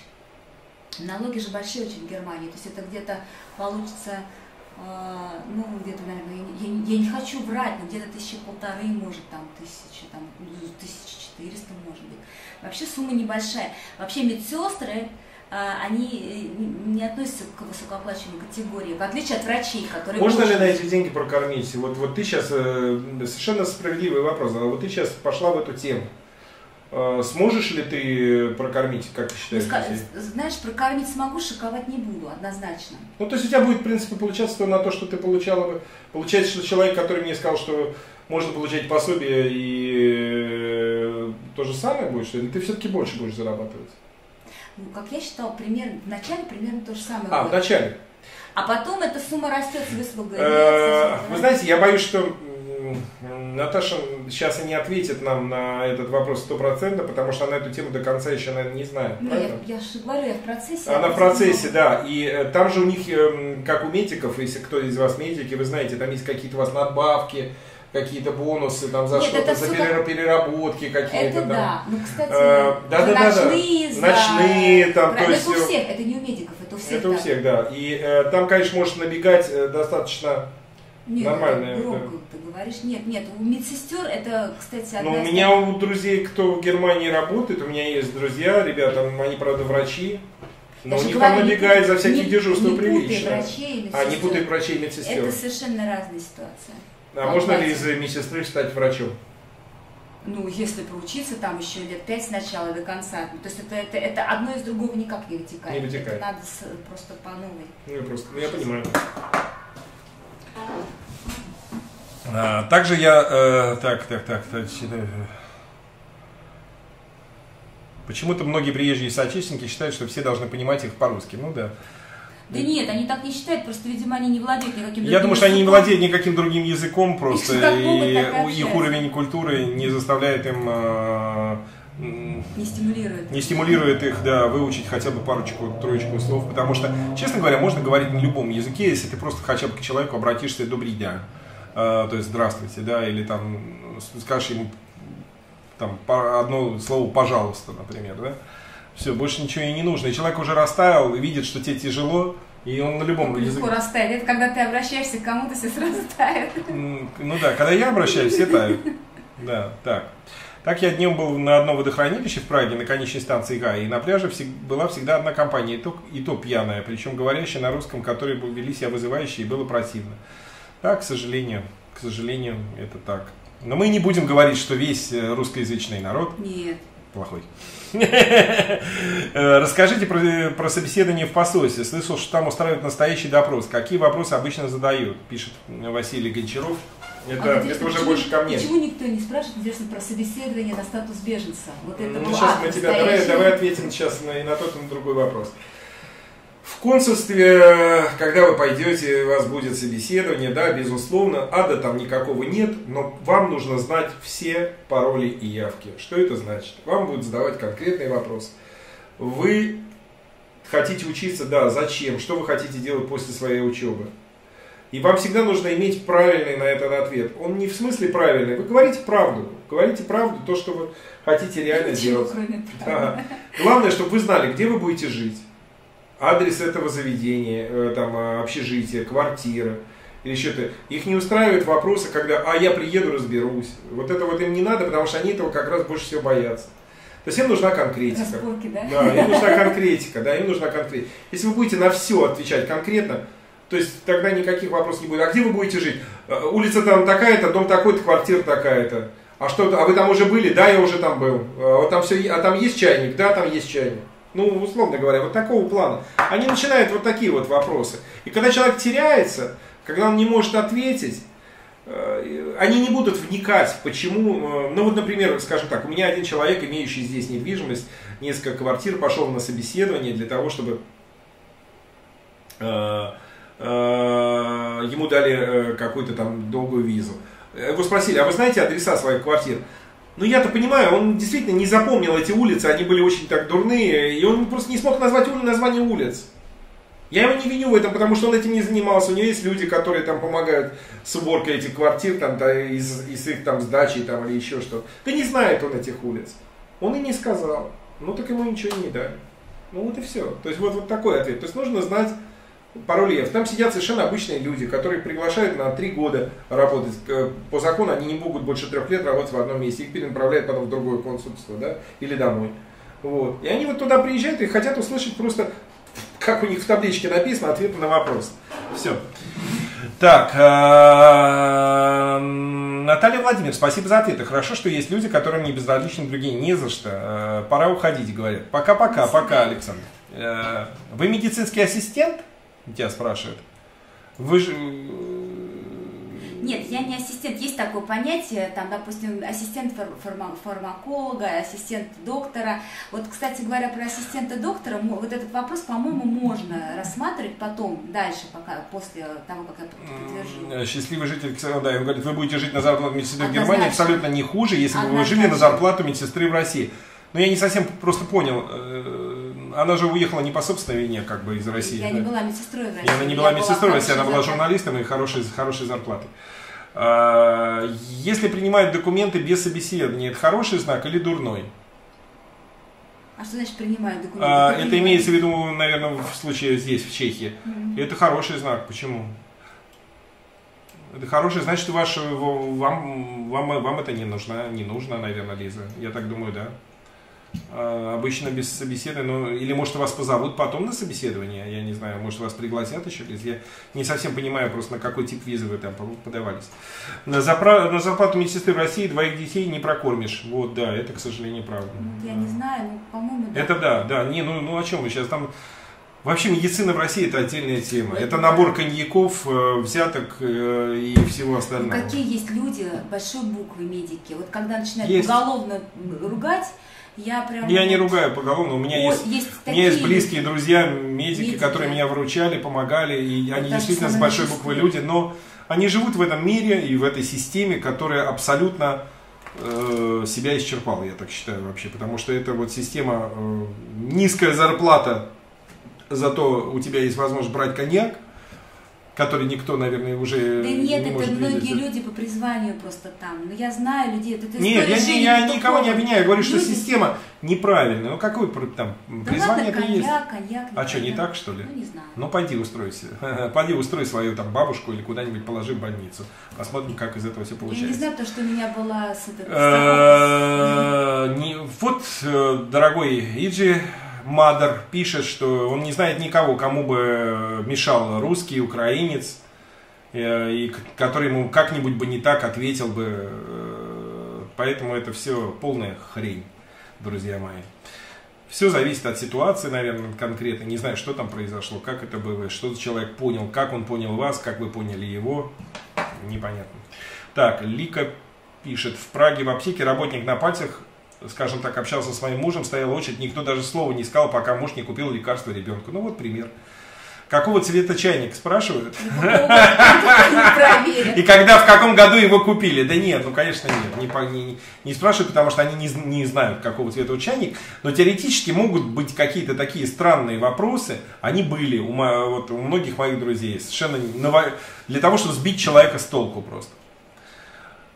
Молодец, Наталья, на таких мир держится. Ну, конечно, Наташечка у нас Ой, супер. давай, давай, не, не меня, да, дальше. Не, она, она герой. Я, честно говоря, ей всегда восхищался и много вам о ней рассказывал, говорил, что я знаю, что происходит в этих лагерях, э, потому что у меня там есть человек, который там находится в данный момент. И, конечно, ты молодец, что ты не отчаялась и свою семью спасала. Молодец. Вот давай дальше-то, какие вопросы? Не в консульстве, а когда... А, такие вопросы Да. задают беженство в консульстве? Нет. Э, Это- Илья, там люди спрашивали уже про Чехию, про э, это самое, а что вот задают... Сейчас ты расскажи, расскажи нам, как было собеседование, проходило у тебя собеседование а просто вдруг кто-нибудь, ну, ну, Ну, вдруг какая-то ситуация бывает, расскажи. Нет, да. кто-то захочет, например, ну, вдруг какой-то вариант с беженством, да, на самом деле это все очень сложно. Очень сложно, друзья мои, беженство, э, если это липовый вариант, ну, очень... э, Может быть, конечно, кто-то как-то делает, но я не знаю, это настолько Не, ну в сложно. Америке я знаю, что многие приезжают, выдумывают какие-то истории, там э, делают себе беженца, но на самом деле там есть адвокаты, общем, которые занимаются. А здесь, кстати, есть адвокаты, Знаю. которые занимаются в Германии такими вопросами? Да, есть адвокаты. Ты И даже они- можешь с адвокатом прийти на собеседование, и он будет э, присутствовать. То есть есть тоже иммиграционные такие адвокаты, Да, да, это все есть. И, и, и активно этим пользуются многие. У меня, кстати, не было никакого адвоката. Со мной беседовали 4 часа. А, Интервью Только вы, вы, наверное, она пишет, когда в Россию поедете, вы же ПМЖ получили, вы, наверное, плохо понимаете ситуацию. Вы, наверное, плохо ситуацию э, понимаете. Она уже уехала не просто потому, что, чтобы ПМЖ получить в Германии, она уехала, потому что угрожали, ситуация угрожала ее жизни. Поэтому, как в она ближайшее туда- время, в ближайшее пока время, ситуация а не пока изменится. ситуация не изменится, не она не изменится, она туда не поедет, к сожалению. Да. К сожалению, это просто, просто невозможно. А что документы еще не получили, да? Что за получили документы, не знаю. Можно выдумать цвет чайника, они ведь это не проверят. Да, можно выдумать цвет чайника, безусловно, никто не проверит никогда. И, ну, не знаю, ну, вы понимаете, это, это так- там бывают всякие ну, вопросы, но такого глупые. Я уж, честно говоря, сейчас не вспомню. А, меня спрашиваете, поеду ли я в Россию? Я просто не понял. А, Я в Россию, да, честно говоря, меня там ничего нет. Зачем? Я там прожил, я там все знаю, да, я- людей я знаю, я прожил там э, большую часть своей сознательной жизни, фактически почти 40 лет, там чуть меньше. И э, у меня нет там, у меня там ничего нет, у меня там ни бизнеса, у меня нет, э, даже друзей у меня уже там нет, честно я вам хочу сказать. То есть есть друзья, но вот благодаря YouTube, да, у меня появляются какие-то друзья знакомые, да, грубо говоря. А так меня, честно говоря, никто там не ждет. Слушай, Володя, ты сказал, что ты там все знаешь. А вот куда ты хочешь поехать, где ты ничего не знаешь? В России? Нет, вообще, ты сказал, в России ты все Не, знаешь. она меня, меня спрашивает Я конкретно, хотите, поняла, а хочу вот, а вот куда ты хочешь поехать? В России? Да в мире вообще. Есть это как- какая-то вот... э, Да, я бы очень много хотел путешествовать, честно говоря. Я хотел бы много путешествовать, но у меня просто нет столько денег, друзья мои, чтобы путешествовать. Да, поэтому пока приходится путешествовать по Чехии.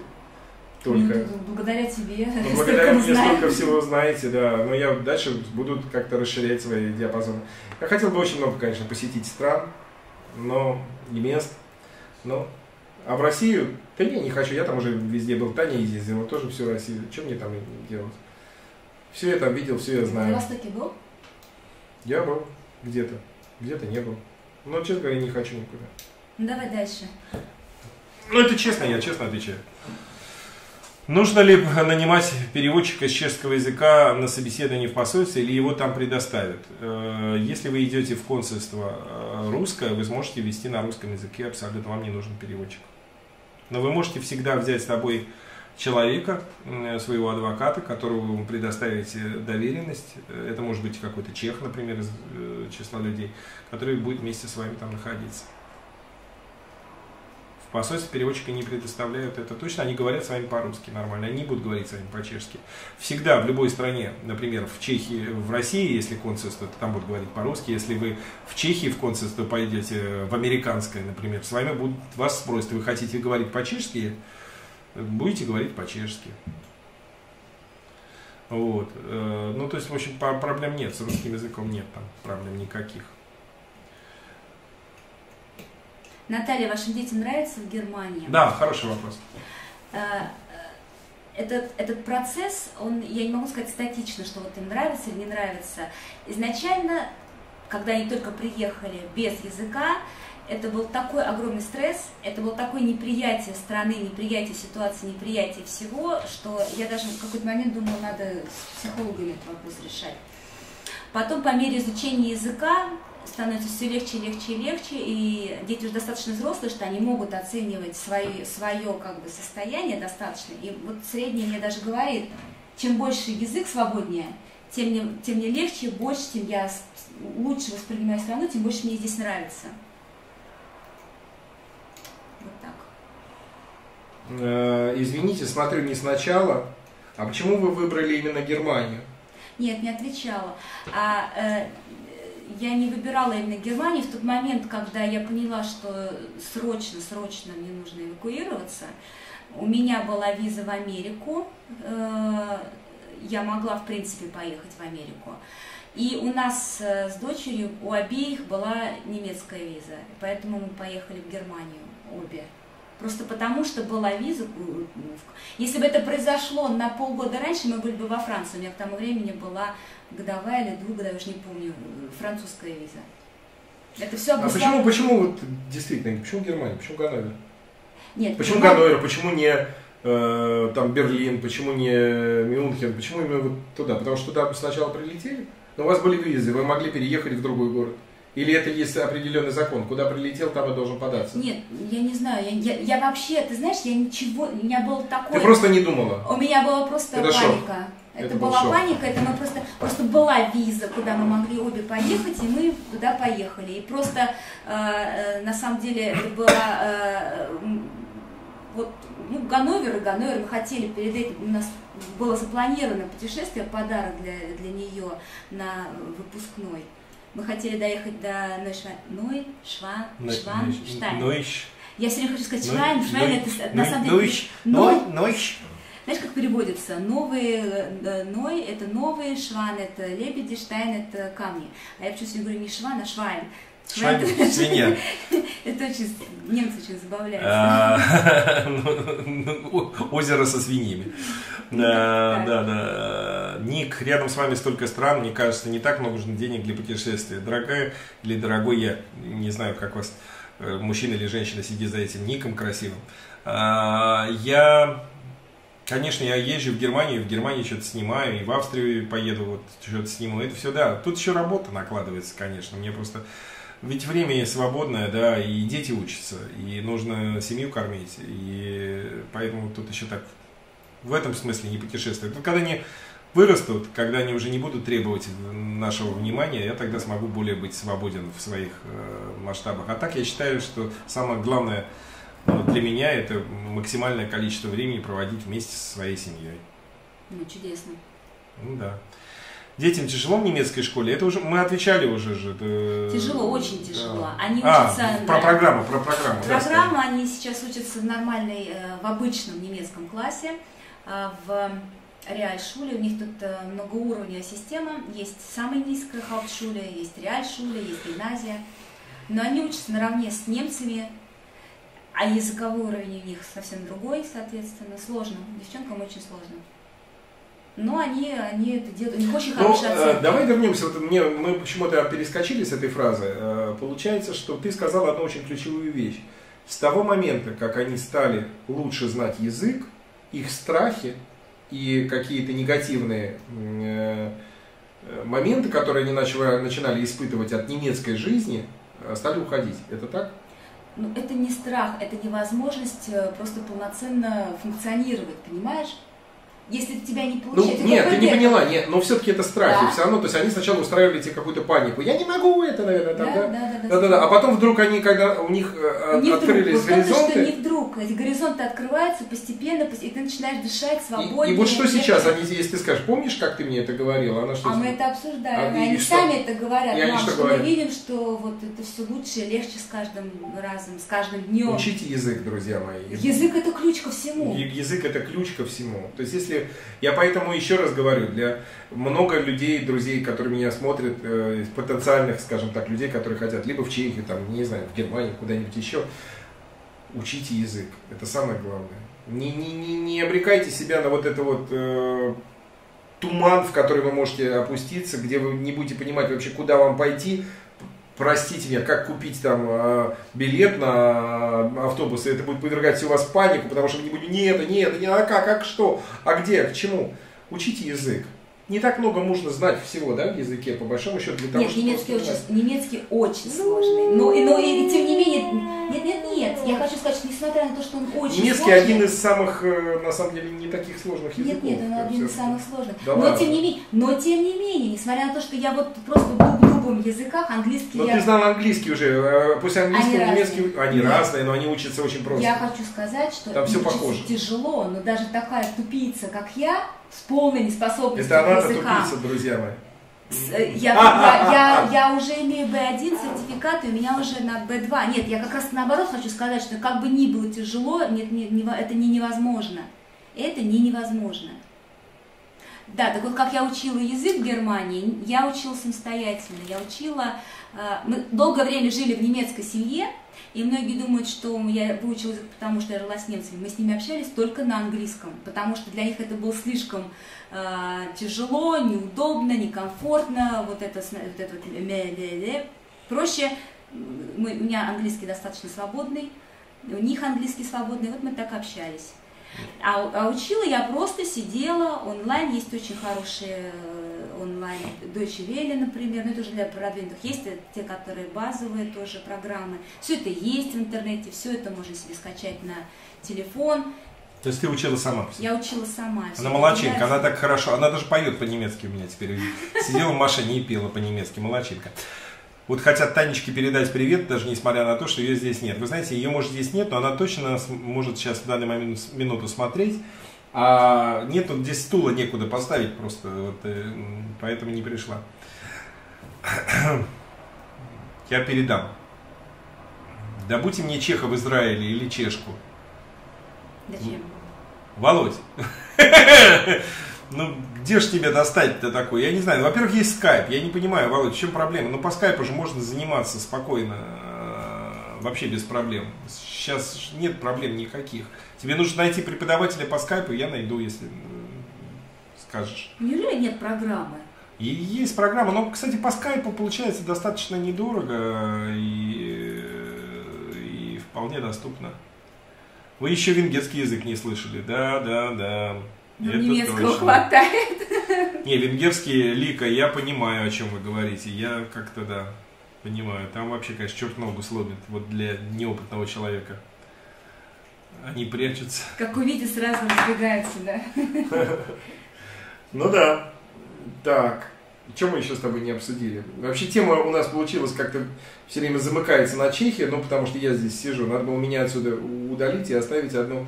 И видишь, я тебя еще перебиваю постоянно. Друзья мои, я и не перебиваю. На самом деле я еще раз хочу сказать, что я ее, конечно, перебиваю для того, чтобы скомпонировать, скомпоновать, потому что э, э, не растекалась она может растекаться в мыслях, и я поэтому как бы ее собираю. Почему я это имею право делать? Потому что я перед этим все это слышал, все это знаю, все, что она рассказывает, я уже слышал от нее рассказанное мне, и может быть даже не один раз. Поэтому э, как бы я позволяю себе немножко вот как бы направлять, корректировать, корректировать да, она не против. Вот, но... И, ты не, не против? Не против. Ну, все. Я, я не узнала только что.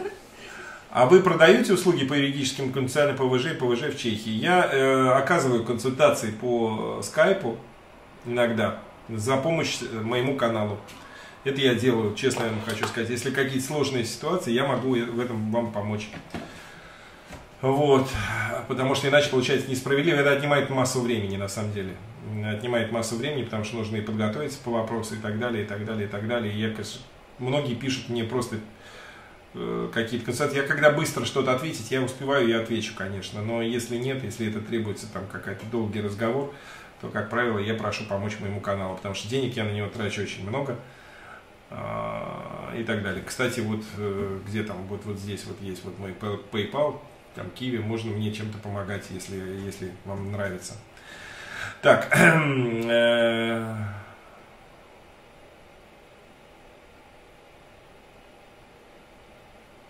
Сколько было вашей старшей дочери на той момент? Это я 16. А, это было, значит, старшей дочери было 16, а младшим было 4, ты сказал 13 и 12, да? Нет, это э, им было 11, 11 13, 13 и 16. Вот, вот, вот так было. Но а, та дочка... С... 17, нет, 17. 17? Но та дочка, с которой она была вот с самого начала, это ей было 17 лет, mm-hmm. она была с ней. А потом вот эти две маленькие приехали 17, 17, попозже. 17 лет ей было. А, Э, мне технику чтения и произношения надо ставить. Скайп тут не поможет. Ну, очень как, даже поможет. Очень даже поможет. Как тебе скайп не поможет? Э, берешь перед человеком, читаешь текст, он тебе все говорит. Как... Текст тот же самый в интернете. Тот же самый, конечно, нет. Ну а что ты? Я, я считаю, что поможет Володя. Володя активный наш этот самый э, слушатель зритель. Ну все, мы, наверное, уже такой Ну мы так по основному, основному, да, мы все сказали так. Моя дочь по скайпу учит чешский, а я пересматриваю, потом тоже учу. Все вот. проходит отлично, отлично. Вот хороший. Вам надо объяснить, как хороший, это происходит, поделиться опытом. Мне так нравится ник «Счастливый житель». Вот такой хороший никнейм. Позитивный. Позитивный. Сразу видно позитивный человек, счастливый житель. Мы тоже счастливые. Правда, не всегда. Иногда бывает, хочется кого-то матом послать, но я сдерживаюсь. Я не имею в виду зрителей, а так по жизни. Вот. Ну, спрашивайте еще напоследок что-нибудь. По скайпу можно с носителем э, заниматься, конечно. И... Откуда пошло в Чехии, что у них многие крыши с окнами? А, ну как ты не знаешь, наверное, из конфигурации крыши пошло. Конфигурация Почему кры... только Чехия? Это вся Европа. Это вся Европа такая, с крышей с окнами. Как бы, Мансардные крыши. Мансардные, мансардные этажи. И все просто используется вся рационально. Франция, вся Франция, вся Германия, везде ну, так. Владимир, я понял, э, вы учите язык. Э, а, это про Израиль э, Владимира спрашивает. Угу. Наверняка есть у вас в Израиле курсы какие-то. Не может быть. Может быть, может там просто в крупных городах может, в Тель-Авиве, там, я не знаю. Да нет, ну еще. может и не быть курсов чешского. Ну слушай, если есть курсы польского, почему не будут курсы чешского? Я узнаю, тоже курсы польского есть тоже, но... Ну, мы не можем так утверждать, откуда ты знаешь, почему ну, да, ты не знаю. Хотя, ну, хотя... По скайпу это можно. Хотя... А есть, вот, кстати, да, девочка из Израиля, э, блогер, моя подруга Оля, э, как Поэтому можно у нее спросить. Она, она правда, польским сейчас занялась, но она Чехии не интересовалась, наверняка она знает про чешские курсы.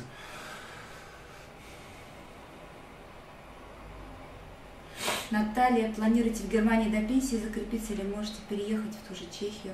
Честно говоря, я ничего не планирую, я просто вот живу. Вот. Слушайте, мы еще что-то как-то так вот до пенсии это не думали, да? Мы с тобой обсуждали, кстати, этот вопрос, что мы еще все-таки не состарились так совсем сильно, чтобы про пенсию думать. Как ты думаешь? Ну, мне вообще пенсия, наверное, и не светит. Ребят, нам не светит никакая пенсия, это правда, что не... Ну как, светит какая-то, наверное, социальная. Наверное. По, не, по нижней... Э... Нет, ей пока не светит, пока нет. А, но когда она получит постоянное место жительства, через... Э, тогда да, да? Тогда будет уже светить.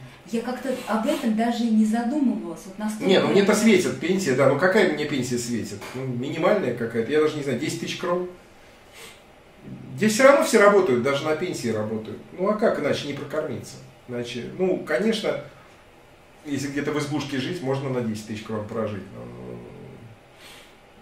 Но, надо все равно работать, что-то делать. Наталья, спасибо большое. Вы меня теперь еще больше смотивировали на переезд. Куда? Куда? Это не важно, куда. Друзья мои, мы просто... Я хотел еще раз... Э, Игорь, а Игорь, я, э, вопросы кончились. На самом деле я правильно, наверное, мое решение было, что я решил сделать вот такую онлайн-трансляцию, чтобы вы имели возможность спросить.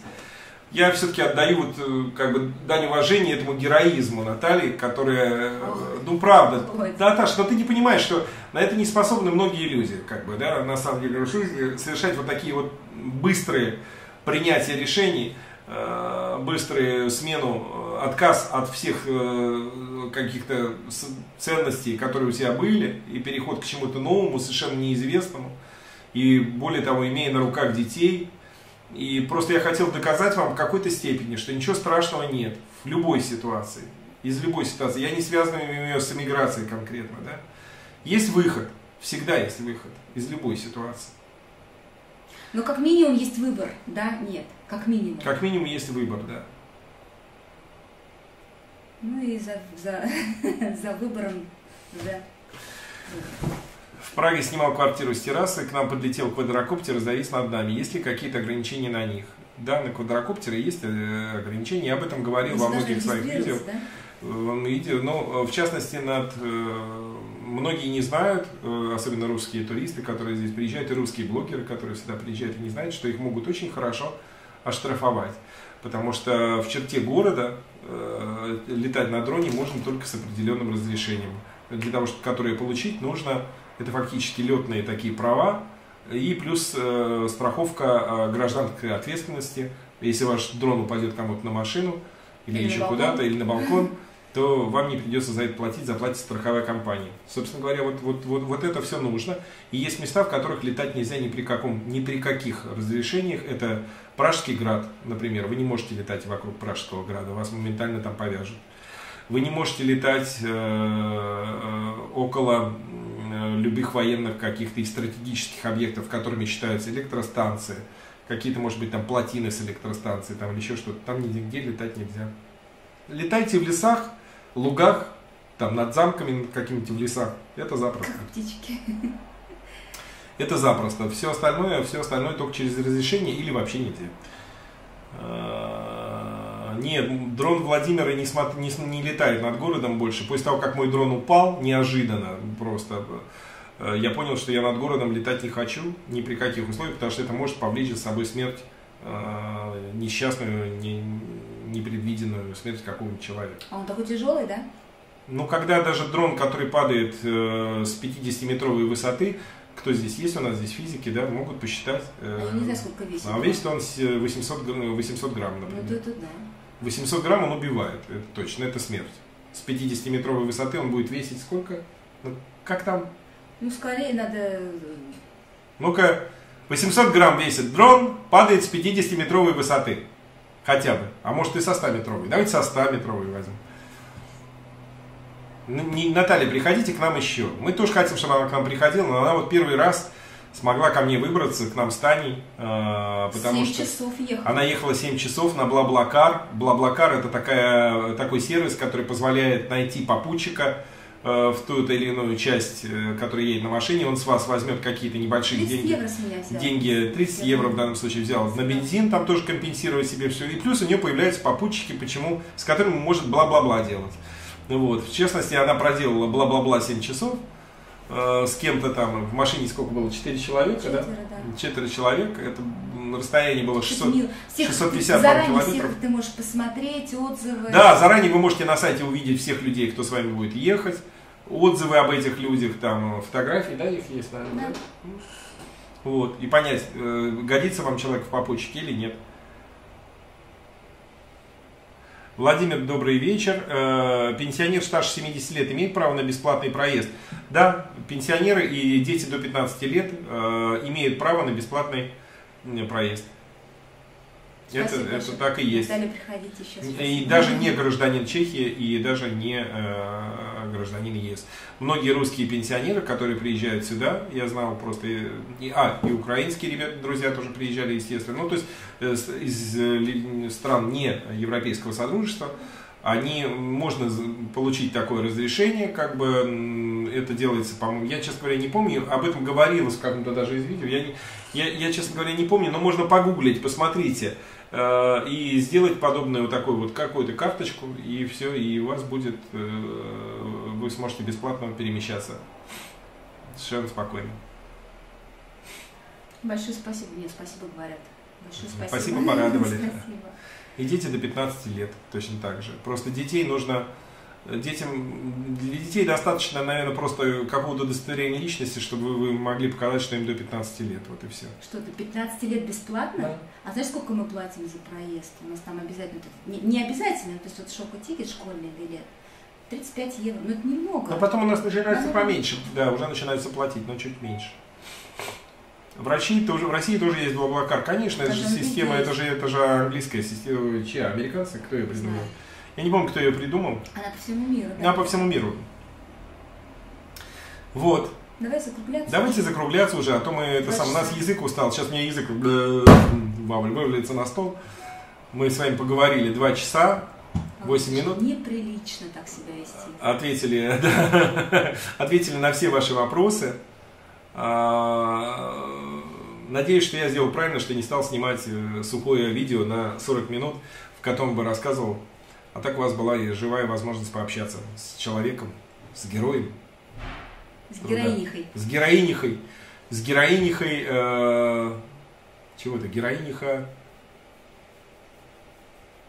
беженских будней. Выкрутился. Ну что, друзья, давайте прощаться. Спасибо, Наталья. Хочу уже видео скорее посмотреть, послушать всю историю.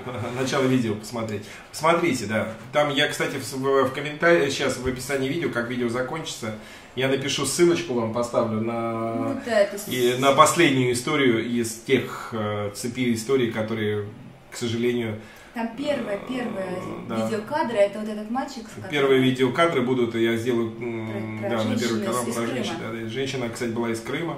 Но это не важно, откуда она, Да, дело не в этом. Просто она попала... была в не из Москвы. Она не из Москвы была. Там была проблема, что она просто была не из Москвы, оказалась в Москве и с ребенком, которого пыталась вылечить, Москвичи-то не но могут получить помощь. даже москвичи не а могут получить. Да, да, да. Уж если ты не прописан там вообще. Так что вот. Спасибо. Пока-пока. Да, спасибо всем. Э, Пока.